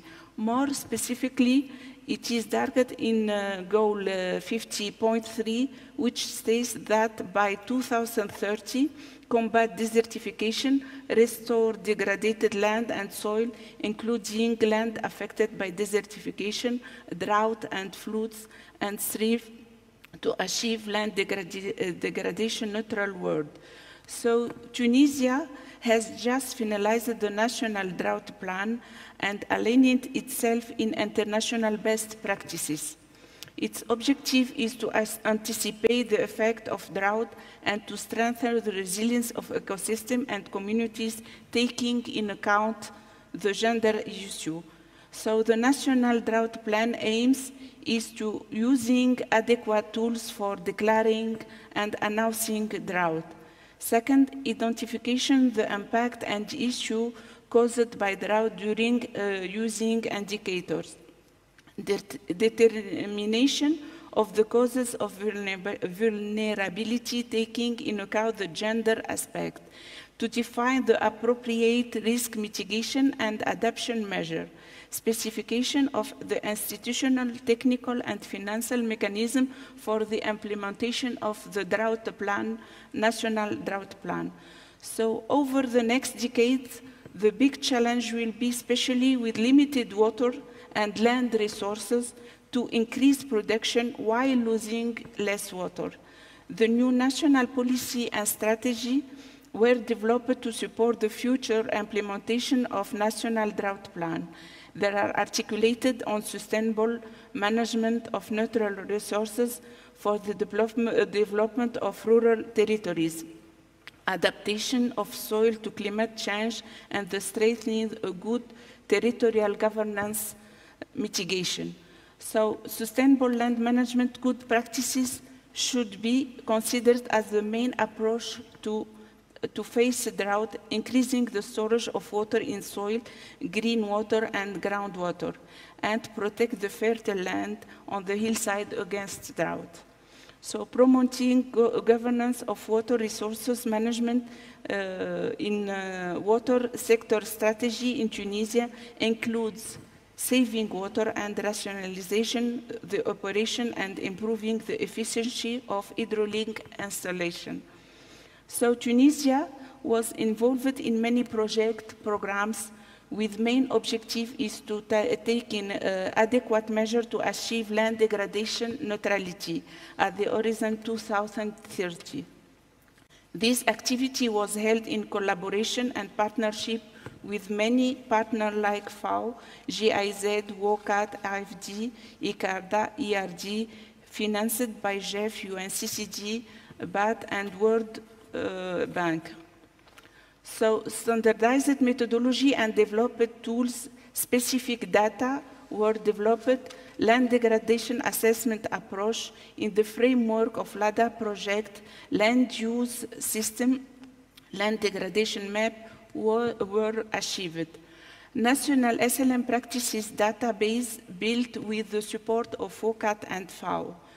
During 2020-2022, uh, FAOS, uh, uh, we, are, uh, we held actually technical cooperation project uh, which is entitled Capacity Development for the Sustainable Management of Soil Resources in the NENA region to achieve the sustainable, uh, sustainable development goals. The project involves to, 12 NENA countries with the main objective improving the understanding of soil characteristics and the importance of the integration into land use planning decision implementation of management practices. Second objective, strengthening national capacity for the implementation of normative tools on sustainable soil management. Strengthening national and international collaboration on sustainable soil management. So two parts in this project, capacity building for uh, technical, uh, in technique uh, analysis of soil, plant and water, and uh, implementation of standard operating procedure, uh, the SOAPs, with the support of FAO, uh, for the chemical and physical soil parameter analysis, uh, focusing also on uh, quality management and quality control for soil analysis and interpretation of the soil result.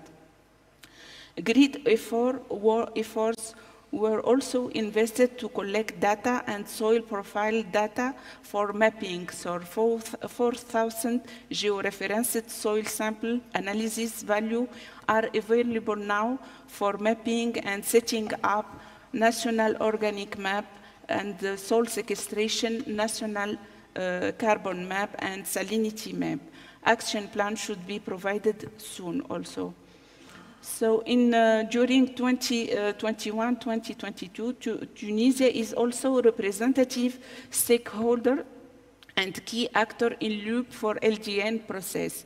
Loop for LDN is land use planning for land degradation neutrality, technology innovation for the design of a land use planning solution of degradation of land degradation neutrality at subnational level. So the tool, the tool this tool, uh, sorry, is greatly helps us to understand where to focus plan restoration, activity, and design for reducing land degradation. Case study were conducted in Tunisia. The first step is of an uh, ongoing process was that uploading dataset, uploading risk map, land use map, suitability map, and this allowed to define area of interest, planning on changing land use, what land use type change is proposed. Transition, transition scenario and series of indicator was generated, especially competition between crop and olive trees plantation. Uh, also, Tunisia also was involved in uh, DSSLM project during 2000 60 and 2020, GEF funded FAO project on decision support, mainstreaming and scaling up for sustainable land management, uh, which, is, uh, which was implemented in 50 uh, countries. So uh, this project uh, allowed us to, to make a decision support framework and uh, which provides guidance to country land degradation and sustainable land management assessment and management tools at different levels to scaling up and scaling out uh, sustainable management and uh, implementation. Action plan was uh, also um, uh, prepared and developed. So many uh, maps were developed at different scale showing land use system, uh, form of degradation, repetition, spatial repetition, and which kind of SLM, sustainable land management, uh, are proposed, uh, leading decision maker, and how to, to proceed at national and local level. Also, databases were uh, uh, developed and implemented by WOCAT approach.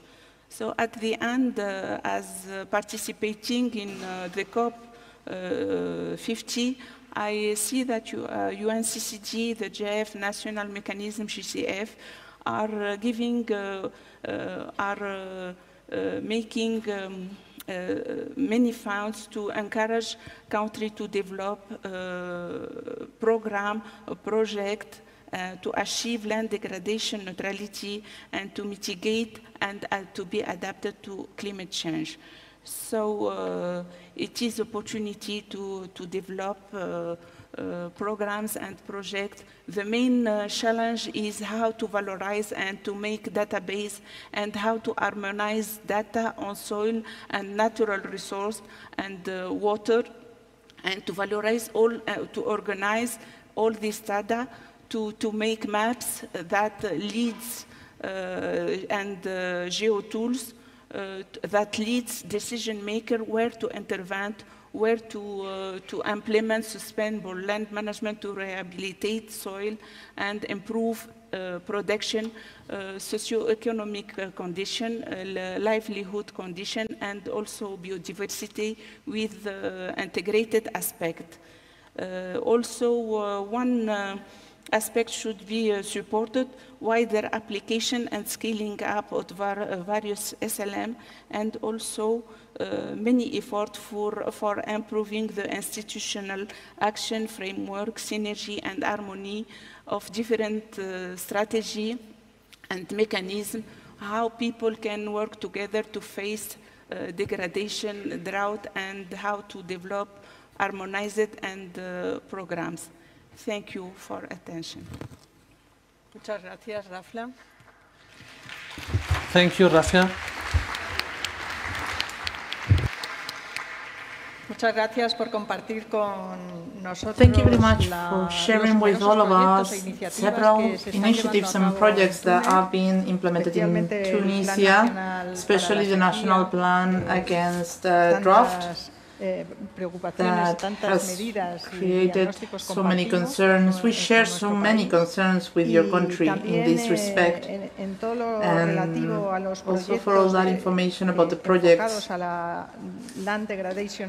uh, for land degradation neutrality uh, for the 2030 horizon. and uh, everything that you've explained to us about the different tools that you've been using tema del cambio climático y la implementación. Uh, to fight against climate change and to implement this land degradation neutrality.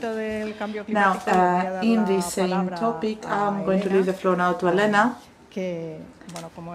As I mentioned before, she works in this specific area, and again, this explains the relevant uh, connection between the three main agreements of the Rio 1992 Convention. This conference was talking about biodiversity, desertification, and climate change. All of these uh, are topics that are interrelated, and there's an influence of one upon the other. Ah, so whenever you're ready, Elena. Vale. I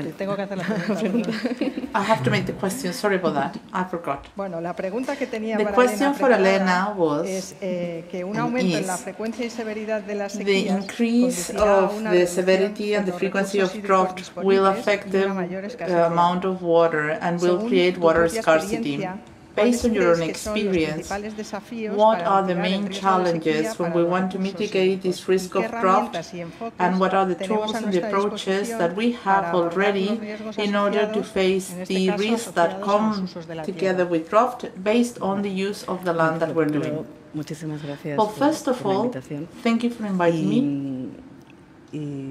Quizá lo, lo, más útil sería ver, Maybe the most useful will be to talk about specific examples, and I'm going to give examples based on science because science can lead to action. So I'm going to tell you a case, which is, in my opinion, a good example because. This way you will be able to see the whole process that you have to go through to make things feasible. Because that's how you get to where Pilar is, when you start to uh, achieve the involvement of the users. Because I'm working in climate change, you need to understand that in order to adapt ourselves, and we have to adapt ourselves to the situation, is in itself an opportunity of change for our systems, because our systems clearly are letting us know that they are at a critical stage. I'm going to talk about an aquifer, uh, a half way from Madrid, in the north area of Madrid. It's one of the biggest in Europe, and this is an aquifer that is in a terrible state in every single sense. There are many aquifers in the same situation right now around the world. This story it started uh, with an idea, as usually things do como eh, Our idea de manera la buena gestión de considering de the possibility of an adequate management eh, naturales, of natural resources. Natural How can that become a natural guarantee against extreme events and also especially in a stage of high uncertainty as the stage in which we are right now. Clave Another key idea in this example de, evitar daños futuros. Was to prevent future damage by investing esos, esos, eh, time and money now daños, eh, to make sure that those damages didn't happen. Or if they do happen, they will be Entonces, less caso, relevant in the future justamente se centraba en el binomio so entre agua we were trying to y suelo. work in this area. Eh, we had this both, uh, both these two elements, de, we de had the land and the water. We were trying to improve the management or the land management. When you work on that, obviously, you're also talking about the mitigation of the risk hídrico for the water system. So, uh, this is the story of Medina del Campo, and I'm going to tell you the whole story. We all started by defining the, use, the, the issue with the users. Those that live in that area are the ones living the consequences of the inadequate management of the systems, the systems that are failing. Last week we got together with them again, and uh, most of their concerns were the fact that they were very worried about drought and water scarcity, but they also talk about the social aspect of this problem. And this is giving us a bit of a clue about the fact that when you get there and you talk with people, people think of the issue, take into consideration every single aspect.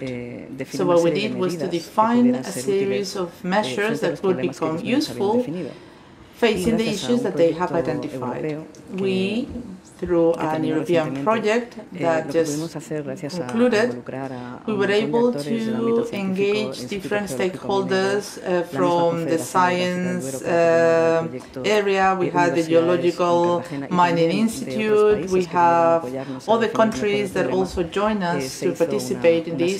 And we were able to create a simulation of the measures that we have designed. And one another fundamental message of these together, uh, we understood that we need to work as it was mentioned this morning, with nature, not against nature. Otherwise, we will continue damaging the different ecosystems that we have, the incredible capacity of nature to offer us things that protect y us. si no la If we don't take care of nature, se vuelve contra nosotros nature will attack us, as we have Entonces, al definir eh, so, conjuntamente el problema y definir medidas, eh, como comento, measures, eh, una lección clave de los usuarios es que tiene un, enfoque muy. The users tend to think of this from a systemic point of view, and uh, the results de also interesting because no, they don't. tend to think of a lot of things. They just design a pack of measures, uh, a set of measures, and we also learn from that because they were quite smart in that sense. They were medidas telling us que van directamente eh, enfocadas, en este caso, por ejemplo, targeting specifically a la gestión de, uh, del suelo. Ellos land management. They were talking about preserving the land, changing agricultural and farming uh, traditions in order to keep the land healthy so that it will retain that water because that aquifer is complicada. Eh, a otra difficult situation right now. also, they were also talking about the fact that if the land is in a better condition, retaining the water, the, the land will be better, you will need less irrigation, and that will be better in terms of water stress. But they also realized in terms of demand that they needed better crops. They needed to have crops more adapted to the specific situation of this area of Spain. According to the last surveys, we've seen that this is one of the key measures to adapt the crops to the specific context of the regions. And they also wanted regu new regulations, a control on the use of water, because they considered that this was fundamental, but also take into consideration the human factor, because they were also creating and talking about creating an awareness campaign. The most relevant thing here is, thanks to the cooperation with scientists, we were able to work in this set of measures. They said that it, they were correct in the design of these measures. We could create more jobs and even increase the benefits and income from per hectare in that same land, which in general is telling us that the users understand pretty well what is going on in their specific context and the measures that could help. And I wanted to tell you this example for another reason. When you have all these different stakeholders participating in the design, including the administrative, the NGOs, lo que, lo que se consiguió es que estas medidas, de eh, manera, experts, dieron lugar as a well as the users, este, en este caso a new, uh, project, eh, es this was a project that was integrated, and it was going to implement de manera que ya están areas. So we have already simulations to recover the aquifer. To also in this case they are working in the simulation, especially facing the issues of potential issues of floods, floods and also we also have another European project that comes from the Innovation Agency, which has a lot to do with um, environmental intelligence, and this has to do with the use of technology as a means to an end, not an end in itself, but a way of making better decisions, not letting the technology take the decisions for us. So we are going to add some sensors on the land, on the specific areas, using different models, and using also satellite images. This is already been used uh, thanks to FAO and the convention. De manera que, and, um, eh, como comentaba Pilar, ¿no? Pues Pilar mentioned, también Fatia, ¿no? de este Fatia enfoque integrado a nivel territorio uh, y con la información para aquellos que tienen que tomar las decisiones, que en este caso nos estamos hablando de agricultores Because we're talking el farmers, we're talking about citizens. We want all the eh, users of these lands and waters to be empowered by data. By the end of last week, we were in Medina del Campo installing all of these uh, humidity sensors they are not very expensive, and this will help these users to have the power of the data, to understand what is going on with their land, how to do a different and better management of water in their specific plots of land. And uh, my conclusion here would be that a better land management cannot completely avoid drought, because the risk, we know that, that, that hazard is already there, but we can mitigate the impact of this hazard by retaining that humidity level on the land and to understand adaptation as a possibility to reset, to start again in that land is a great opportunity. as long as you take into consideration both aspects, both land and water. And we are completely in favor of that integration instead of thinking that um, inadequate land um, management just affects the water management and that's it we think there's a lot of room for improvement in management. Thank you, Elena. por compartir con nosotros la interesante experiencia que pone de manifiesto la importancia. Thank you for uh, uh, de sharing this great uh, example by including the users from the first stage defining the, the issues and the problems. I think all the speakers have already talked about this, and I think this is one of the most relevant aspects that we can add to this roundtable.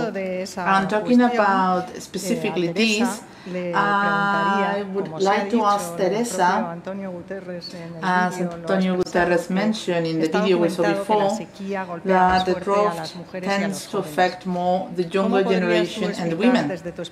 So, based on your own experience, working in the ¿Cómo podrías explicar eh, cómo las iniciativas y proyectos para luchar your previous experience and your background, what can you do to fight desertification and drought in Africa as well as in other continents? Why these should include gender in the, uh, in these policies to make sure that equity is achieved in order to um, make this also part of the whole system. Thank you very much, Maria Jesus, for your invitation to this roundtable. First of all, I would like to say that our foundation, Mujeres for Africa, that I'm representing here today, works to promote the development of African countries with an active um, participation of African women in this process to modernize their countries. We are very aware of the severe issues, social economic issues that have to do with climate change, including water scarcity that affect specifically women. But also this means that we know for sure based on our experience of 10 years now that women are also a key part of the solution. For that reason, I would like to explain one central idea first. And this is that any public policy or any project or approach at the beginning, an initiative that has to do with environmental degradation, to solve this land degradation, to to rethink the consequences of this, needs to include a change in the, in the values. And by that we mean adding gender equality as a core element, not only to advance in terms of social justice, we've talked about vulnerability for women and, and girls because they tend to be the weakest link in these societies and everything that happens in the society tends to affect them more and if they are in the, the economic situation is worse usually it affects them even more. But also in order to reduce potential uh, and worsening environmental effects in order to stop these to continue in time, but also to prevent any other potential issues that might start or might have to do with these environmental issues. And by that I mean conflicts, social issues, sometimes violence and even war. Facing all of these, I have to say that we are working in different areas such as culture, we're working in educational projects, we're working in projects that have to do with financial empowerment.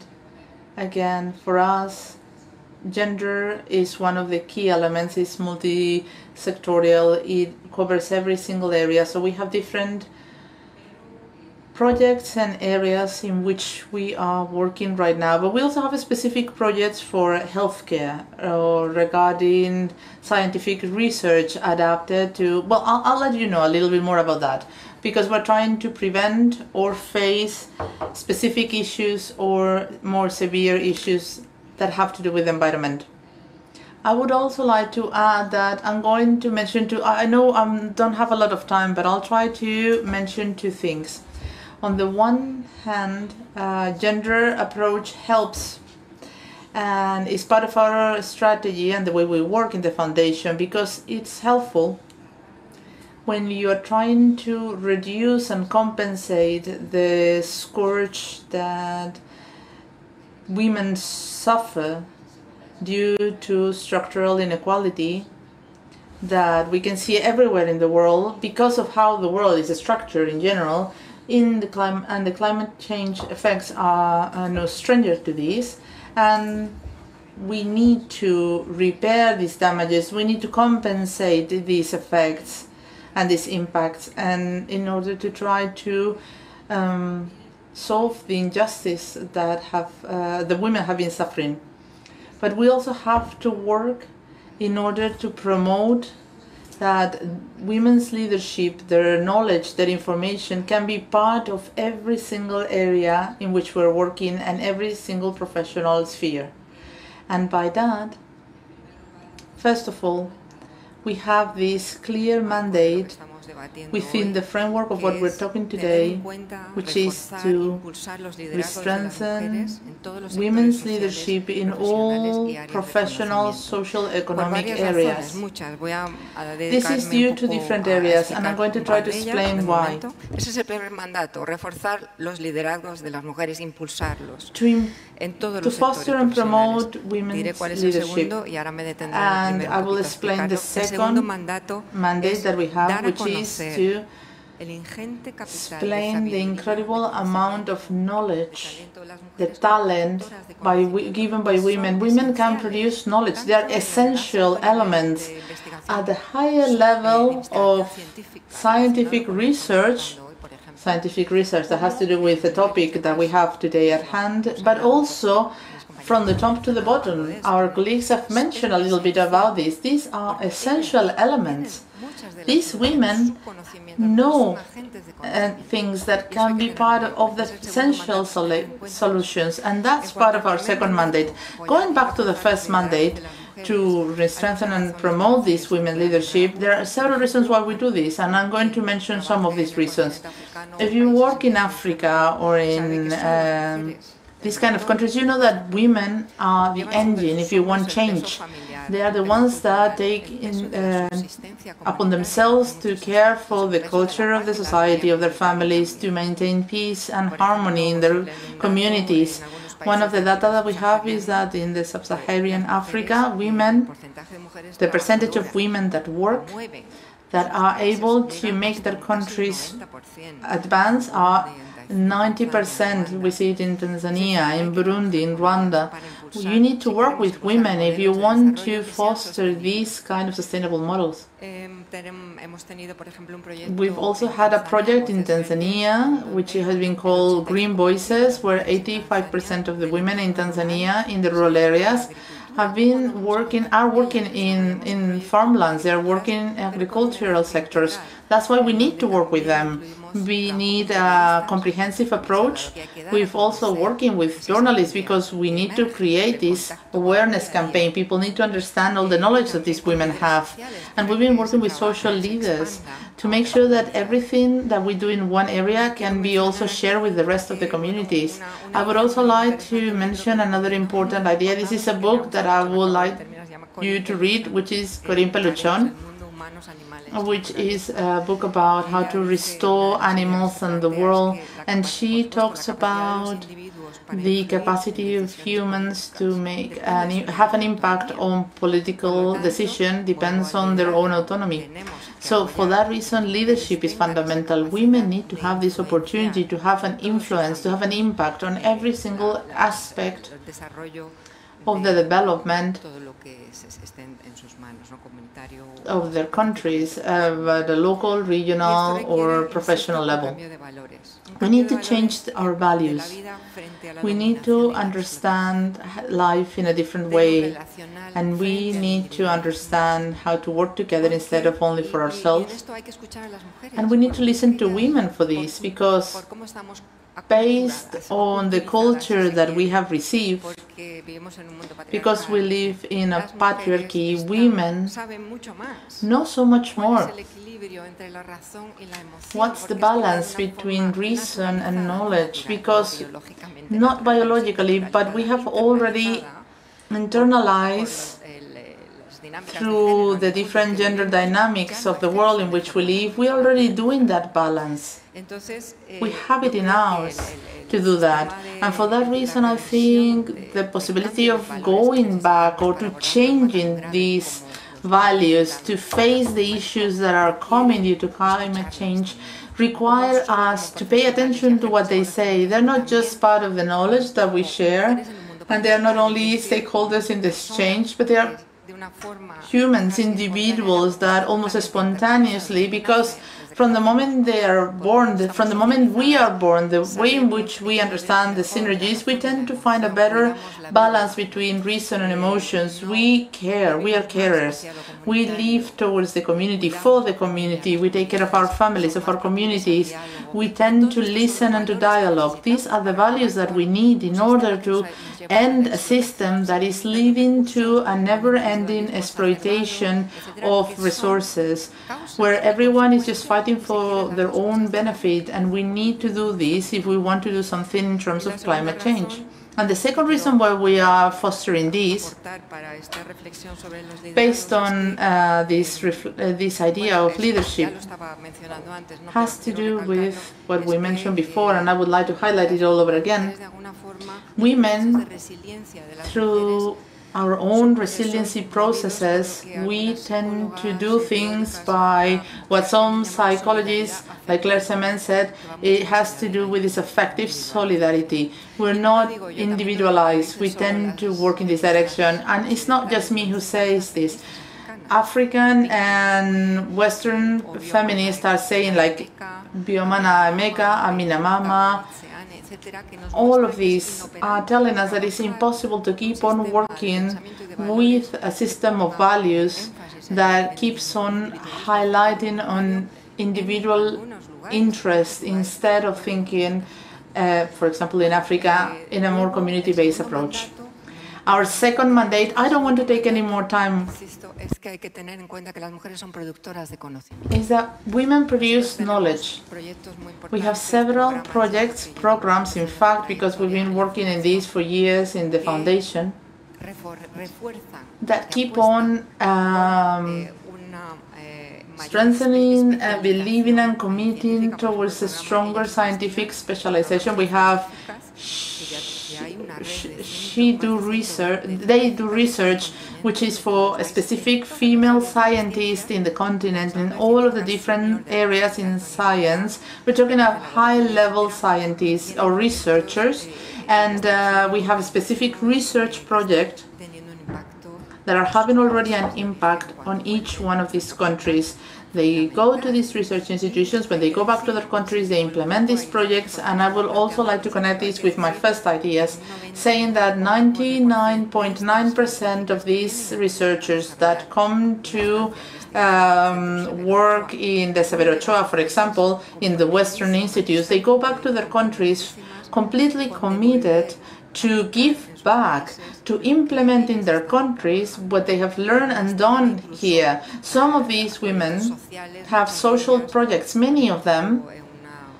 For example, a researcher from Nigeria, Rosalani, that came here recently, she works with an NGO. She has her own NGO uh, working on environmental projects to clean waters, to treat waters and they have created a, a network of climatic uh, ambassadors in a rural area of the south of Nigeria. This is what I wanted to tell you about. We need to listen to them. We need to work with them. They have to have a stronger role as part of the whole system, sharing information and knowledge. They work in the rural areas. They're working in the agricultural sector then we also have scientists as, as, well to be included in this whole process. We need to understand that we have to fight against this knowledge gap of the Western world. We tend to think that women are the agents of knowledge, that the Western world is the place where all the essential knowledge comes from in order to solve the problems that we have in the world. We need to change that. We start, need to start looking towards Africa and to understand that part of that knowledge comes from women as well. And there's fundamental information to help us solve the problems that we have. Thank you.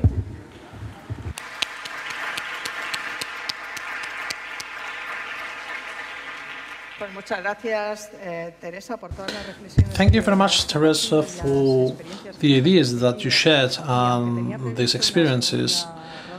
I had uh, planned a second round of interventions, but we are a bit behind schedule. So, in order to give time for the next round table, I'm I will try to sum up uh, what we've talked about. First of all, the importance of knowledge, the importance of having data, harmonized data at our disposal, as Rafia said. Also, how do we engage with citizens in order to define problems? How citizen science and citizen science technique can help us do that in order to anticipate these scenarios and also in terms of citizens' involvement, what is uh, the role that women need to have at all levels, at the level of knowledge generation in the field of science, and at all levels. To conclude, I would like to mention how important solidarity is. Some years ago, the State Secretary of Research started his intervention in our meeting saying that the environment is a matter of solidarity. And this is something that we've seen here in this roundtable. Thank you very much for your intervention. Let's uh, now give uh, the floor to the next uh, set of speakers. Muchas gracias. Continúa ahora la jornada. Thank you very much. Now we're going to show a short video on the situation of Spain and the national strategy to combat desertification. La desertificación es uno de los mayores retos a los que nos enfrentamos en el siglo XXI. El cambio climático, la presión sobre los recursos naturales, la sobreexplotación de las aguas o la agricultura y ganadería intensivas acentúan la degradación de las tierras en las zonas secas de todo el mundo. También en España. La disminución de la productividad del suelo y la pérdida de biodiversidad y de sumideros de carbono son algunos de los efectos de la desertificación. Pero sus impactos van más allá de la naturaleza. La desertificación tiene serias repercusiones sociales y económicas, como el abandono progresivo de las zonas rurales. La falta de una gestión sostenible de la tierra puede llevar a su vez a fenómenos que favorecen la desertificación, como los incendios forestales. En España, casi las tres cuartas partes del territorio son consideradas tierras secas. Se caracterizan por su variabilidad climática, una productividad limitada por la escasez de agua y una renovación de los recursos lenta, lo que las hace más propensas a la desertificación. Para hacer frente a esta crisis internacional, España participa activamente como parte de la Convención de Naciones Unidas de lucha contra la desertificación.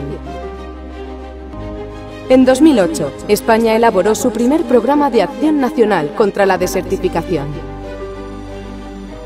En 2022 está desarrollando una nueva estrategia nacional de lucha contra la desertificación, que establece un nuevo marco para las políticas e iniciativas que contribuyan a la lucha contra la desertificación, alcanzar la neutralidad en la degradación de la tierra y a la restauración de las zonas degradadas. La estrategia incluye un diagnóstico sobre los principales escenarios de la desertificación en España, cultivos afectados por la erosión, zonas de regadío afectadas, paisajes asociados a la intensificación insostenible de la ganadería, terrenos agrícolas abandonados y bosques que no son gestionados adecuadamente. También propone medidas para fortalecer las actuaciones de lucha contra la desertificación, que ya vienen aplicándose en España, fomentando la aplicación de esquemas participativos de planificación y mejorando y actualizando las herramientas para el análisis del riesgo y la toma de decisiones. La estrategia sitúa a España a la cabeza de la lucha contra la degradación de nuestra tierra.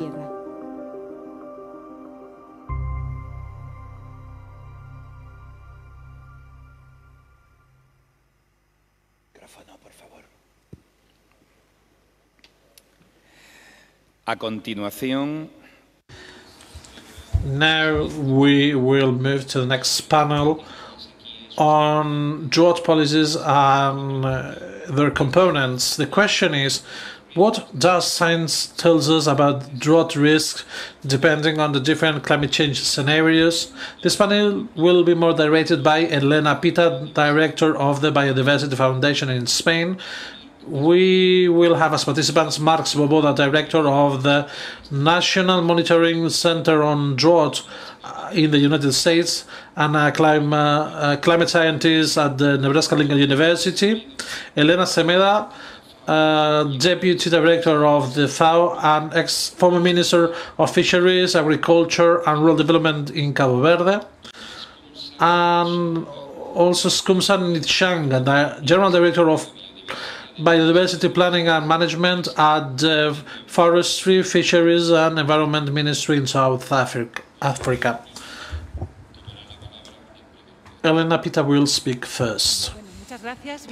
Thank you very much. Welcome to this roundtable where we will have to face some additional challenges since our first panelist, Mark Svoboda, had some problems, he couldn't uh, uh, fly to Madrid, unfortunately. So we have also some challenges in terms of translation, and we are also behind schedule. Fortunately, we are used to adapting so we will try to cover all the topics that we wanted to tackle in this round table in an agile way so that we can give uh, the main ideas that we wanted to convey to our audience. This roundtable focuses on drought policies and their components since the international community is uh, making commitments to help countries, people, and peoples and the most vulnerable communities to face the challenges resulting from droughts and in order to prevent the loss of lives uh, livelihoods and also the damages uh, that ecosystems and properties suffer, how can we translate these international commitments into concrete actions on the field? What are the key features that policies need to have and what are the challenges and hurdles that we face? We have the honor of having Mark Svoboda, Elena Semedo, and Skumsa Stanga. Mark Svoboda is the mm, director of the National Drought Monitoring Center at, in the U.S., a climate scientist at the Nebraska Lincoln University. Can you hear us, Mark? Yes, I can hear you. Can you hear me okay? Okay, welcome to this panel. You owe us a visit to Madrid. Next time.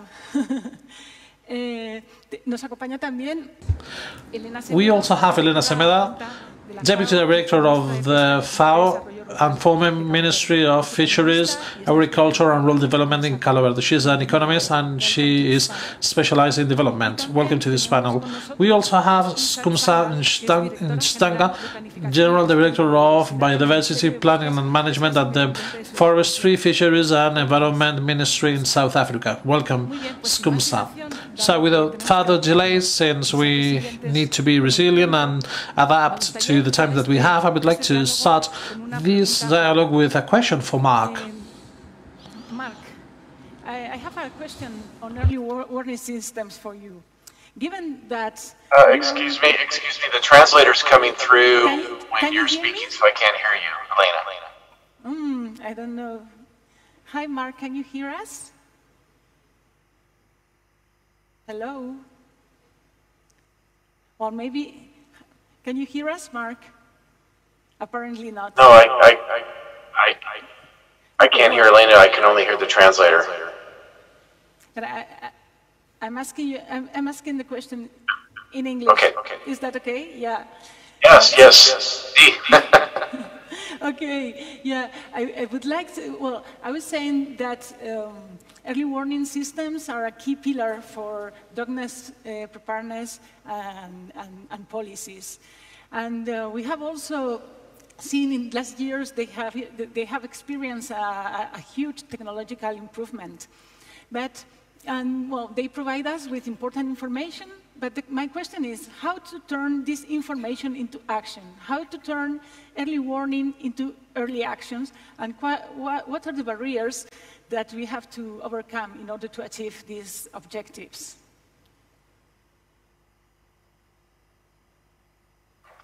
Okay, so I, I, I, heard your question, but the translation comes through to me in Spanish. So I need not hear this translation. Um, I can I can answer your question though. I, I, first of all, let me thank the organizers for the invitation uh, to to uh, this very important day. It's great to see uh, Drought on this platform. Um, and I'm sorry that I can't be there in person. I had uh, allow me to make it to Spain. Uh, so speaking of risky uh, once you lose your seat on a plane, it's hard to get another one. So again, apologies for not being there. Uh, to answer your question, um, this is what we call the now what moment. So, uh, you know, we have this. Hopefully, what do we do with that information now? How do we make use for policymakers and decisions, and for natural resource managers as well? So, to me, uh, you know, with satellites and uh, automated stations and all the networks that are in play around the world to monitor drought and, and uh, our climate, the real challenge is not necessarily a new tool set, but a change in our mindset. And, and you know, of all the hazards that impact society, droughts perhaps are the most analogous to climate change. If you think about it, uh, tsunamis, floods, hurricanes, typhoons, tornadoes. These impact a relatively small area with a small spatial footprint, and they typically don't last very long. Um, days, maybe some weeks, but when you start talking about drought, it can it can impact very large areas, several million hectares, and it can last for months or even years. So it's a different mindset, not only in the tools we use, but also in how we respond and plan for drought. So there's a scale issue here, there's a usability issue here, not just developing something and hoping people will use it, but really addressing their needs um, to, to make sure that the questions they have are answered when it comes to responding to drought in a timely fashion. And ideally, being prepared even before a drought happens. Uh, unfortunately, human nature is such that uh, you don't deal with the problem until you're in the middle of it. And uh, we'd really like to change that mindset as well. The other thing I think we can do to change our mindset in drought is typically you think of it as only being a slowly evolving sort of hazard that always takes months or years to develop. And with, with climate change and global warming, what, what I believe we are already seeing in the data and in the characteristics of drought is a change associated with these increasing temperatures. And that is that droughts can, can actually develop very quickly. We call these flash droughts. They can uh, then manifest themselves and, and maybe they, they do become a longer term drought that eventually may affect water supply, maybe not. But this is the challenge with drought now is it is not just the typical, stereotypical, long-term uh, hazard. It can come on very quickly, and uh, maybe you've heard the saying that real estate um, is all about location, location, location. The truth is with drought, it's really about timing, timing, timing. And so if these droughts hit at the wrong time, at a critical point in particular phenological cycle of, of various crops, grasslands, pasture, etc., uh, then it can have a real impact very quickly. And we're seeing this with increasing increasing temperatures. And so uh, this leads me to my, my uh, other point, and, and maybe this will come up a little bit later in the discussion, and that's in regards to impact collection. This is a huge gap uh, globally. Um, we're starting efforts to do this. We've been trying to do this with partners around the world, with my center and, and partners uh, in Europe and Africa, South America, to treat impact collection the same way we treat uh, collecting precipitation and temperature and stream flow and reservoir levels and groundwater. We need that to develop that baseline. It's really about uh, identifying risk and vulnerability. And so this is where what now? What now? What do we do now with this information from a drought early warning system? And the key word missing there to me in, in the drought early warning information system, which you see often referred to as DEWS or D-E-W-S, is the word I, so DEWS, and that would be for information. And again, that's the distilling and packaging of data, of information, that makes this usable by decision makers and policymakers. This is a critical step, and it really leads to, uh, while I'm focusing mostly in my answer on what we call the three pillars, the first pillar being drought early warning, uh, which I should also say in context is both, um, a lot of people think that's just forecasting. Well, drought is very difficult to forecast. Um, and even if I could tell you with 100% certainty that there will be drought across uh, any given region this summer, I need diligent day-to-day monitoring to accompany that forecast. So really they need to work hand in glove where we have both diligent monitoring and we have uh, forecasting. As the skill gets better, we still need that to tie into that information delivery to decision makers so they can do something with that data. So that leads me to my last point, and that is uh, the three pillars that I mentioned just a, a, little bit ago. We're focusing, at least in my answer, on the first pillar, drought early warning, but there are two other pillars, and that's the now what.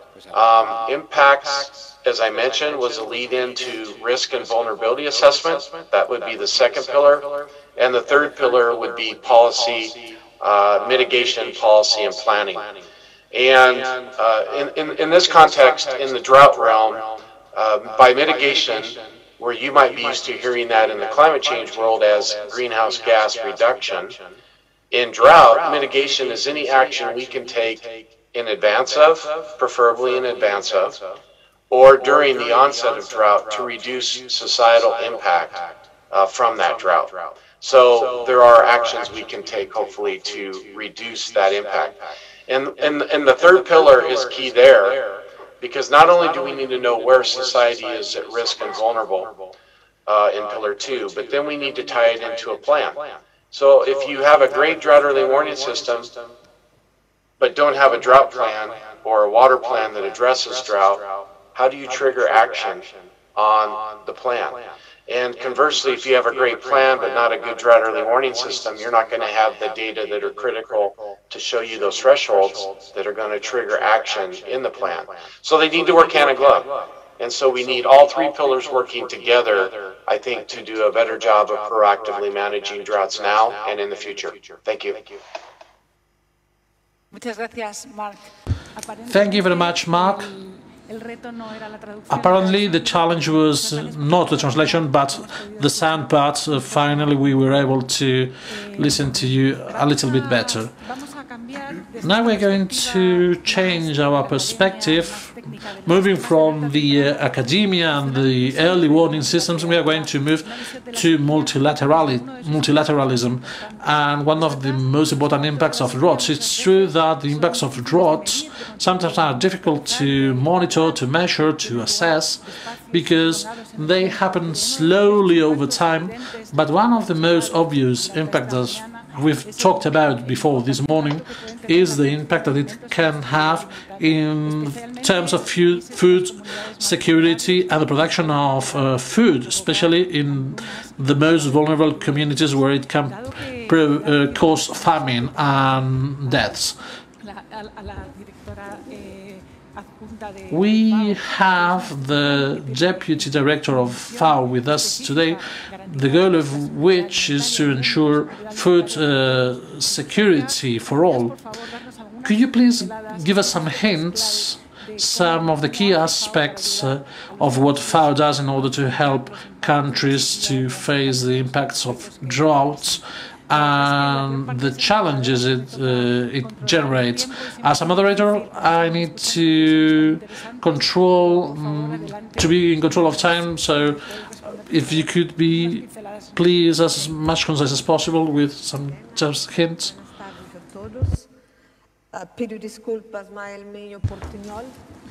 My apologies for my portuñol. Uh, I am.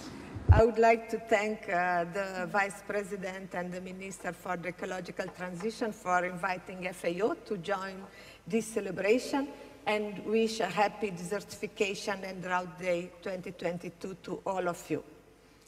As you said, I am from a country, the name of my country is Cabo Verde, Cape Verde, which is not green at all. we have a story of droughts. And 70 years ago, eight, late 40s, we have a severe drought. And due to this severe drought, people die. And the ones who survive, they had to emigrate. It's, it's a bit of the story we saw in the last video. Today, 70 years uh, after, we are still having droughts, but no one is dying due to drought. Why? Why? Because we learn how to transform drought in emergency in working more on sustainable solutions to drought management. And this is what FAO does indeed. As you said, today we have more than 800 million people suffering from uh, food insecurity. And one of the causes is climate change, drought or floods. And uh, another part is conflict, but the main part is due to that. We uh, at FAO, we look food security that requires a transformational change, where we, we address drought, on top of the actions of climate change, as I said, which is increasing the frequency and the, the intensity. It has also been said today. Our priority in FAO is to have a paradigm shift. From what? From a very costly emergency and reactive response to a cost-effective, proactive, and integrated approach in drought management. This meaning that drought management will be part of the policies, will be part of the program, will be integrated in all development plan of the countries. How we do it? We have three main elements. The first one is have a multi-sector drought management. Drought doesn't affect only crops, affect livestock, affect water, soils, sustainable natural resources management. We need to have a plan where they are all part of the plan. They are not, we don't look at them as silos. Then, looking at this uh, integrated approach, we try to establish proactive plans. I can give you an example. In Afghanistan, they have drought. 10.5 million people were affected by drought. FAO worked with Afghanistan to develop a strategic plan. The plan has four pillars. The first pillar was uh, integrated, it was a multi-sectoral uh, approach with agriculture, livestock, natural resources management, water and irrigation, and disaster management. The first pillar was to strengthen drought risk governance, how we manage the risk. The second one is improve drought vulnerability and risk assessment. The third one was to strengthen drought early warning, early action, and monitoring, as the previous speaker has just mentioned. And the third pillar was increasing investment in drought. How we transform this plan in a resource mobilization element. And this was assumed by the president, and they were able in Afghanistan to use this plan to mobilize resources. And now this plan has been financed by the World Bank, and they can plan and they can be uh, more uh, proactive and resilient to drought. Based on this experience, FAO with UNCCD, we worked in 32 countries to develop drought national action plan. Today, 12 of them have been financed, and we hope we can continue in this uh, bringing the, the, global environment uh, facility, the global, the, the green climate fund to finance those plans. The second element is financing in investing in drought risk assessment. We are talking, talking about risk. It's not easy to have investment or financing to manage risk. We need all of us as uh, in the multilateral system to give a priority to invest and finance risk and to bring the private sector, which is not easy, but we need to, we have some investments and how we can uh, set up some mechanisms in terms of insurance, other uh, instruments. And now we need to enhance investment in drought-prone countries that will also ensure the highest effectiveness for the most vulnerable communities and livelihoods. The third element is invest in technical solution, innovation, and information system. We talk today about the need to have an information system. And what tools we are talking about? We are talking about drought management, knowledge, and practical solutions. FAO, we have what we call the Global Information and Early Warning System on Food and Agriculture. With these elements, we have the ground information, but we have the satellite information. We know that a country will have a drought. We know what are the reserves in the country We know the trade and we can take, tell a country, a drought is come, you don't have enough reserve, you need to take early action. And this is also how we can provide early action solution. And also we have what we call agriculture stress index system. We are implementing in Salvador and Guatemala. But if we know that we have a drought coming, and I tell you that today we have 1.2 billion people living in dry lands, and it's critical for them to be prepared. What will help to them is to adopt salt-tolerant crops, is to adopt, adopt crops that they are short cycle and they don't need so water, and how they can also have a sustainable management, having more efficiency in managing the water, in having also appropriate soil, manage, soil management as the, the colleague from Tunisia referred, FAO work with the Global Soil Partnership, we help with uh, soil map and uh, soil solutions. And we have also some technologies. We work with uh, community knowledge technologies to transform them in innovation. I don't know if you heard about the half moons in the Sahel. Yeah. The half moons, they were done by the local communities. Nowadays, it's done in a mechanized way where okay. we can store water and we can have production. And with this, we can increase the production, we can reduce the vulnerability, we can support women, as it has been said, they are the most affected by, by drought, and we can enhance livelihoods and address the impacts of drought. We have some examples also in, in Spain. You have the Dehesas, the Dezas. now I think is the best pronunciation. Dezas in Spain, where you have a mix crop and livestock systems, and they are based on short season drought resilient crop and resilient flood waters. I stop here, I know I don't have much time, I can give you a lot of uh, several examples, but I wanted to be practical to tell you that today we know the solutions, they are there, we need to scale them up, and we need to have the consequent investment. I wanted to about, talk about land restoration that is important, how to restore degraded land to become productive land. Ibrahim talked in, in, in the opening speech. I don't think I need to repeat what he has said. Thank you, Elena.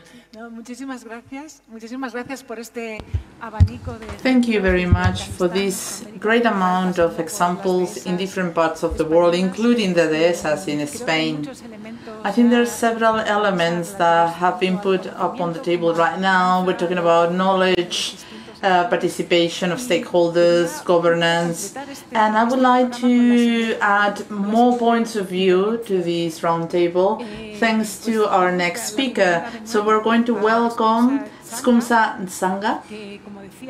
And um, she's not just the Deputy Director General of Biodiversity and Conservation Branch in the Ministry of Forests, Fisheries and Environment of South Africa. She's also been part of the Intergovernmental Work Group on Draft that has been established by the United Nations uh, Convention against desertification and draft.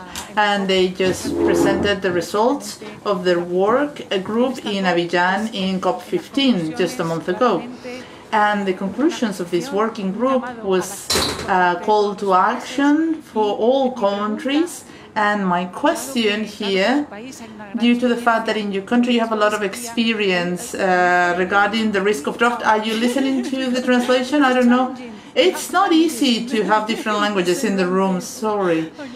But nonetheless, what we were trying to say is my question for you would be how does South Africa, or how is South Africa getting ready to mitigate the effects of drought at the same time as promoting sustainable development uh, doing a better use of the resources and the land in the country? What are the main hurdles that you're finding in your way in order to achieve your targets? Thank you, uh, Madam uh, Facilitator. And it's an honor and a privilege for me to participate mm. in this august uh, platform. Um, I think as has been reflected uh, earlier, the African region is affected the most uh, by the severe drought, with more than 300 recorded events in the past 100 years, accounting for more than 44% of the global total natural uh, disasters. And um, the young lady from Kenya said it all earlier when she spoke uh, with so much uh, passion. So I'm not going to get into the African context. Uh, but just to indicate that uh, drought is a major issue for South Africa, we are also not spared in terms of the total economic losses and the number of people who get affected on a daily basis. It's got devastating economic, environmental, and social impacts, such as loss of life, food and energy insecurity, reduced agricultural productivity, and degradation of the natural resource base, which unfortunately underpins all life on land. And the ability to reduce vulnerability to drought, to improve resilience and coping mechanism depends on a number of factors, including the availability of uh, the scarce water and other natural resources, alternative livelihoods, financial resources, and a number of, and, sorry, and advanced early warning systems. And as you might be aware, South Africa has since 2014 experienced the worst drought in decades, which continues to affect all sectors of the society, especially our vulnerable communities, including women and the youth. Drought in South Africa, as in many parts of the world, is therefore a cross-cut, cross-cutting issue uh, that has a devastating impact on various sectors such as the water, energy, biodiversity, agriculture, human health, and affects socio-economic conditions of its inhabitants. Hence, our government approach has been to facilitate an integrated and intergovernmental response at a national level. And this is part of institutional governance of, of drought. And in this regard, an interministerial task team on drought and water security was established to, amongst others, coordinate um, the different sectors and stakeholders in terms of drought interventions, to also ensure mobilization of resources, both human and financial, in order to deal with drought, as well as to update Parliament and Cabinet on drought activities across the country. And this is very important in terms of enhancing a political will. The work of the Interministerial Committee is supported at a strategic and technical level by, amongst others, the National Joint Drought Coordinating Committee, as well as the National Coordinating Body for the implementation of the UNCCD in the country. The focus of both committees is to ensure policy development as well as implementation. So they focus on both levels, the policy side as well as the implementation side. And some of the measures uh, that I would like to share with you this afternoon uh, in respect of mitigation of drought, whilst promoting sustainable development and improving productivity of land, include the fact that we have developed various cross-cutting policy tools that are nested in our constitutional obligations, such as the robust legislation that we have for different sectors, uh, including recently the draft, draft, climate change bill, uh, which is being finalized in Parliament in order to enable for the development of an effective climate change response and a long-term just transition to a low carbon and climate resilient economy. We have also developed the National Water Resource Strategy that has undergone several iterations in order to ensure that our water resources are protected, used, developed, and controlled in an efficient and sustainable as well as equitable manner towards achieving our development priorities, especially given the fact that South Africa is a water scarce country. And in this regard, I would just like to mention that we have also established that we have about 22 of what we call our water factories. Uh-huh. And these are above ground um, water resources that cover about 10% of South Africa's surface area, but contribute immensely, especially in terms of providing our much needed uh, water resources to 60% of, more than 60% of the population, and also accounting for more than 70% of our economic activity uh, as a country. So these strategic water source areas are very important and government um, is hard at work in terms of ensuring that we secure these uh, in the short to medium term. We also have quite a number of other um, policy-related tools, including the National Biodiversity Strategy and Action Plan, in compliance with our obligations under the Convention on Biological Diversity, with a short to medium term tool which we call a National Biodiversity Framework, which was approved recently by Cabinet. So we try to ensure that there is political will um, by making sure that all of these tools that we develop um, enjoy the support of our political principles. Okay. And um, we have also, um, in the energy front, developed an integrated energy resource plan which aims to ensure security of supply while minimizing negative emissions and water usage, amongst others. We have also developed, um, given the land degradation drought nexus, uh, with healthy soils providing a buffer in terms of times of drought, our land degradation neutrality targets have also been in place since 2018 and we are working in earnest towards the achievement, uh, their achievement by 2030 in support of the National Action Okay. Program to combat uh, desertification, land degradation, and drought.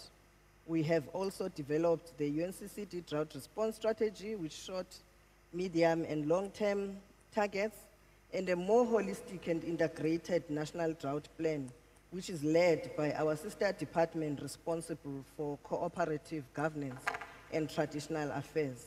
And this is aimed at promoting a paradigm shift from reactive to proactive approach. Uh, we have many other tools that I cannot list uh, in this forum, including our National Climate Change Adaptation Strategy. Um, however, I just want to mention that at an operational level, we have various labor-intensive expanded public works programs that are in place, such as land care and the famous uh, Working For uh, programs, including working, working on fire, working for wetlands, working for water, which have really assisted us in terms of enhancing our conservation of biodiversity as well as land resources, um, and also ensuring land rehabilitation and restoration, whilst at the same time focusing on public employment at scale, ensuring food and energy security, as well as supporting skills development, as well as enterprise development as well. And we have quite a number of other on-the-ground interventions, including providing support, infrastructure, and funds for farmers, technical support to vulnerable municipalities and communities, increasing the promotion of health and disease surveillance, as well as disbursement of funding for drought relief. We are proud that in this regard, we have invested in excess of 13 million US dollars in the drought relief intervention project, bringing 65% of the total 2,000 water tanks into serviceable Okay. use. And we can see the private sector also coming on board uh, in a big way in terms of supporting our drought and water um, uh, uh, resilience um, uh, efforts. Okay, thank you. Thank you very much for this comprehensive uh, explanation of, on the one hand, the policy side and the operational side. Um, Creo que después de esta visión After this very comprehensive view of what is going on at a national and international level, we've seen some of the aspects of science. I think we have time for a second round of questions, but I just wanted to take the opportunity to ask you based on what has been published in the newspapers recently, this is something that affects all of us, and it might be interesting to add this dimension to know what is your opinion about this. I remember that I worked uh, doing surveillance of projects, and when I was doing uh, giving back the feedback, they told us, no, tell us, don't tell us to improve coordination. Coordination can always be improved. You have infinite amount of room to do that. But in order to be efficient, we do need to improve coordination to include all the different stakeholders so we can have political will but also operational point of view. And so in my last question, my last round of questions, I wanted to ask all of you, how can we improve coordination between the policies that we have at a global, national and regional and local level? What are the coordinating mechanisms that we should have in place at every single one of these levels. Mark, please, could you be the first one to answer this question?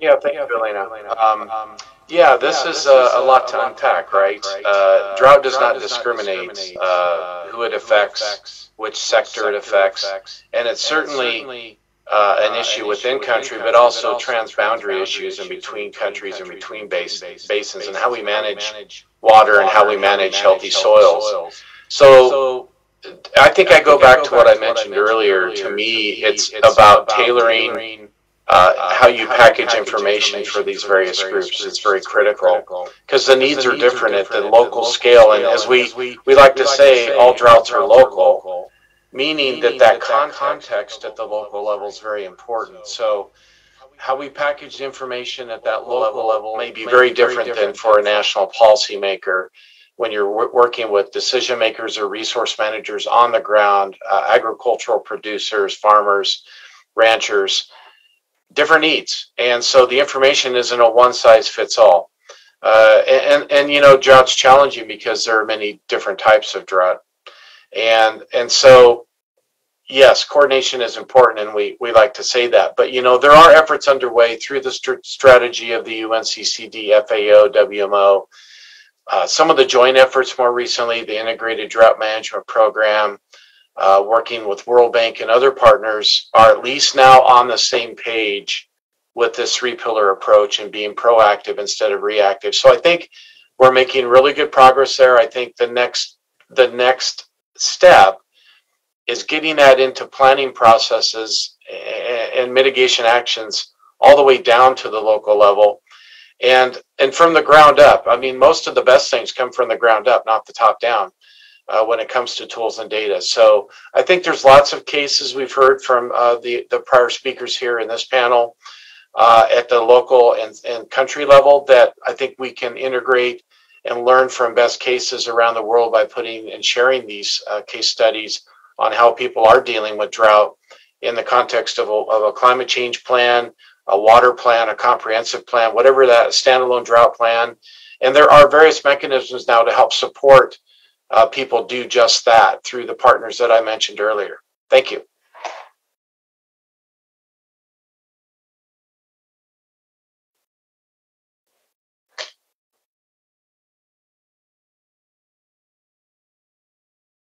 already existing and what we need maybe is to strengthen the existing mechanism. I can refer to the intergovernment working group under the mandate of UNCCD that uh, work with the countries to support countries to develop their national drought management plans according to different principles of integrated drought management, as we said, to be proactive. In COP 15, it was said that it will be strengthened to include a focus on financing for drought risk is very important as I, I refer in uh, my intervention. We, we can, as I said, we cannot see drought on isolation. We have the three Rio conventions. We have when the Convention on Certification on Biologic Diversity, on climate change. And it was clear in Stockholm that we need, and also in Abidjan, to need in a more integrated way. They cannot be seen on isolation. We need to bring the financing entities, the Green Climate Fund, the GEF, the Adaptation Fund, the World Bank, to really finance drought and drought-prone activities. We need also to go to regional level. We have already the regional existing institution. We have in Africa, we have several with link to African Union. We have others in the different region. How in their plans and their policies they should integrate drought and the other uh, connection. But more than that is how we coordinate at the country level with the government. That they have the adequate policies that to refer to the uh, smallholders, to the pastoralists, to the herders, to women, youth, that we look at drought in a multi-sector, multi-sectoral approach and all the actors, they should be part of, of the solution. And this really, in my view, drought doesn't have borders, doesn't have frontiers. We need to work together at all levels and to scale up the existing solutions. And these, those are the mechanisms we really need in order to work. In FAO, we work very close with UNCCD. We work very close with UNEP, we are the co-leaders of the UN Decade on Ecosystem Restoration, but others, UN uh, uh, entities at uh, country, global, and also regional level. But more than that, our work with the countries at the ground level is where we can transform and where we can have the shift we want to have in drought, not be looked at an emergency, but part of a sustainable development.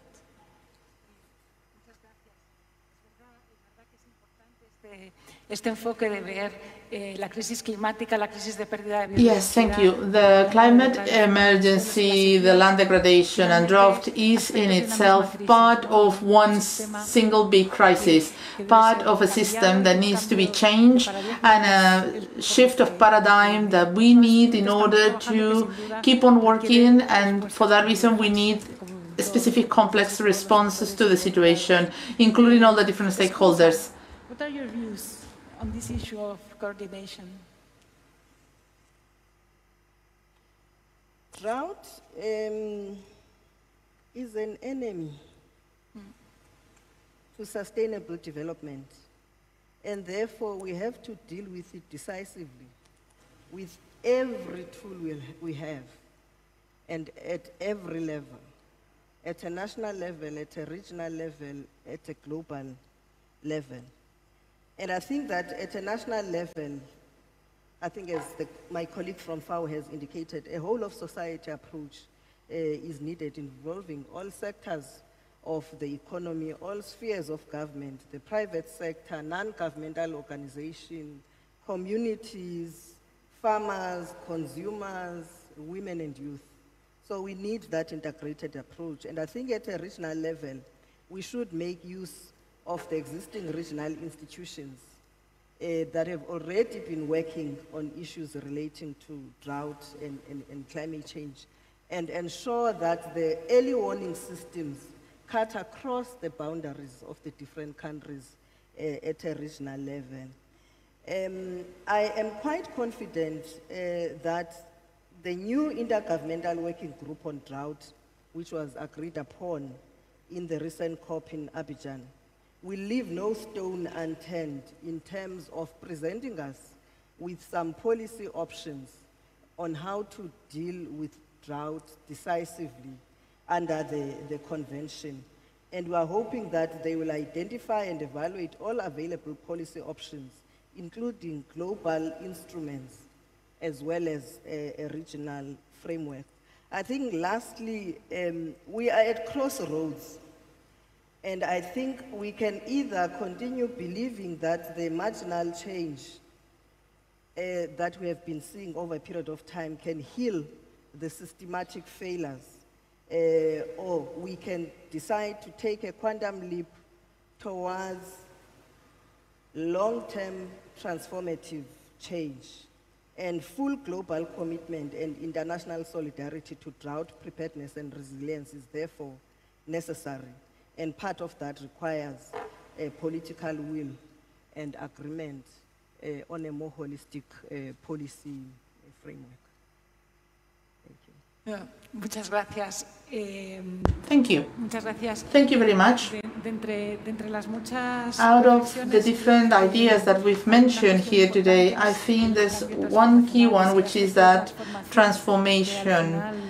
Because after all, this transformation, it's uh, what is moving us towards a true change, not small change, but we're at a moment when we need a bigger transformation. and that will be the way in which we will be able to face this common enemy, as you call dropped our enemy. Thank you very much. I'm extremely sorry that we do not have any more time. I wish we could keep on talking about this with all of you, and I wish I could have asked many more questions. Hopefully, we will be able to discuss about this uh, later on.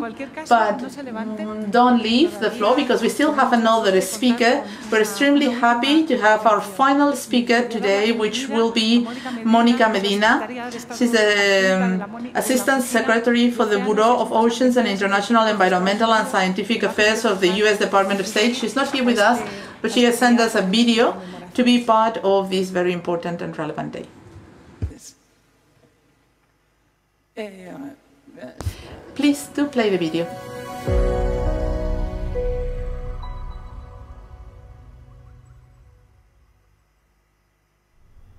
Today, on Desertification and Drought Day, I commend all of you for your efforts to address this growing challenge. Individuals, communities, and governments must act to combat desertification and drought around the world and build long-term resilience. We know that climate change is decreasing food production globally. The Intergovernmental Panel on Climate Change has said that on our current path, as much as 30% of the current agricultural lands could be unsustainable for farming by the end of the century. And we cannot address land degradation without innovative management practices, such as protecting rangelands from overgrazing and maintaining cover on croplands during droughts. We must find solutions. People's lives today depend on it. One person every 48 seconds is likely dying of hunger in parts of Africa, according to a recent report. In the United States, we are working to minimize overgrazing on public rangelands through an approach that provides long-term leases on millions of hectares of land. to discourage tillage of highly erodible lands by limiting access to agricultural support programs for those lands to promote the maintenance of perennial cover on highly erodible lands, and to provide assistance to farmers and ranchers for soil conservation planning. And through the work of the United States Department of State and the U.S. Agency for International Development, the U.S. supports implementation of these strategies across the globe. We also need to shift planning horizons these, These issues, issues will be with, be with us for the long run, and we need to get ahead of the curve. We must, we must all think long term and find, find innovative, ways, ways to reduce drought, drought instead of just responding, responding to the devastating, devastating impacts, impacts caused, by drought. By drought. We need to, we need act, to act before, before the damage, the damage is, done. is done. That's why, That's we, why encourage we encourage governments, governments around, around, the world, world to, develop to develop, their, own, own land, planning, planning processes, processes, and provide, and provide funding, funding, to implement, implement climate smart agricultural policies, policies before, before drought, drought hits. hits. Using, Using data, data, to improve, improve drought, drought forecasting, forecasting is a key, is a key pillar, pillar of our approach, approach under the under recently, recently released, White House, White House Action, Plan Plan on Global, Water, water security. security. We know, we know that these policies, will look different, different country, country, by country. By country. That is, that why, is we why we need to share best, best practices, practices, what's worked, worked for each of you, you and take, and take home, new, ideas, ideas to address, to address desertification, desertification and drought. drought. The health, the health of, our, of people our people and our planet, and our planet relies, relies on, it. on it. Thank you. Thank you. Muy bien, pues muchísimas gracias con esta, con esta última. Thank you very much for this last intervention. And now I'm going to close this round table by thanking you for all your contributions, for all the ideas that we put on the table uh, related to the complexities of climate crisis, including desertification, but also others, and also related to the necessary transformation to face them, and also in terms of the call for action. Thank you, and thank you all to all the attendees uh, for being here or from listening to us from home. Thank you.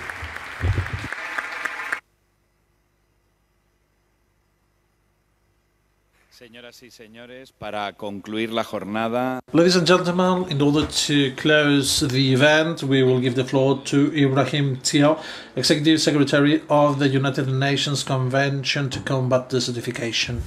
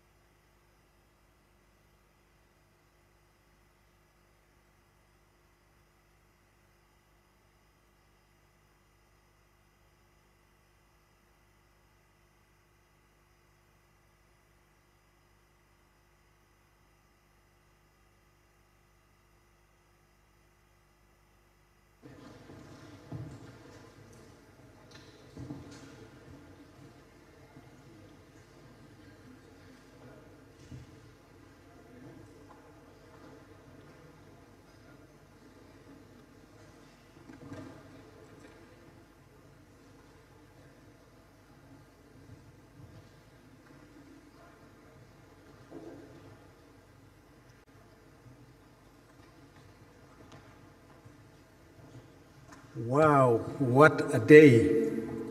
What a day. So, this is, I will be very brief because you have been listening and interacting amongst yourselves. First of all, thanking the government of Spain, the Prime Minister, Deputy Prime Minister, and all the ministers that were here today, the ambassadors who were with us, and every, each and every one of you, those who are in the room and those who are connected, and those who are were unable to join us physically and still connected by video. Mark, thank you very much for your participation. I would like to just say a few words. As illustrated in the discussions we just had in the last panel, drought is not an issue, an easy issue to deal with. It is affecting many communities. It is very difficult to coordinate intersectoral uh, issues.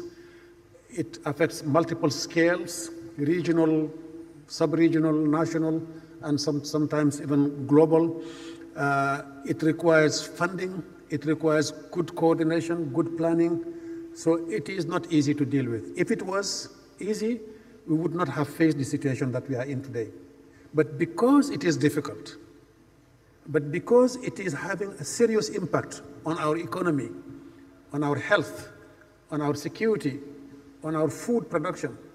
And because it is affecting more and more people in the world, up to three quarters of humanity may be affected by 2050. This is precisely the reason why we should act. This is precisely the reason why we should change the paradigm. We need to rethink because the way we have been dealing with drought so far has not been that effective in most parts of the world.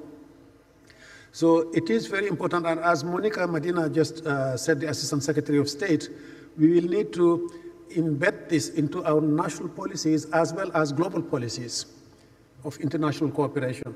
So again, thank you very much to all that were in the room. Thank you very much to all those who were connected. And thank you to the millions of people, hundreds of millions of people from around the world that have celebrated, that are still celebrating this day. We, you can see uh, in the social media, you can see in the national presses, you can see the videos coming. It is a very important day for us. But are we done? No, we are not done yet. We have just scratched the surface about drought. We, we need to act and we need action. And when we say we, I mean we with a capital W. Each and everyone, not only governments, not only private sector, not only local authorities, but we as citizens also have a role to play. And there's no small action. As I said in my, in my opening remarks, there is only inaction. Do you want to be part of the action or, or part of the inaction? Thank you very much again.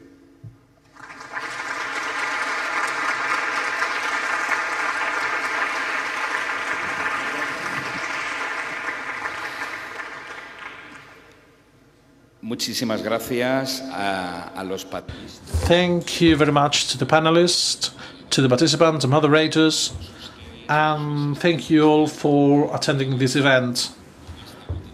With this last speech, we conclude the World Day to combat desertification and droughts.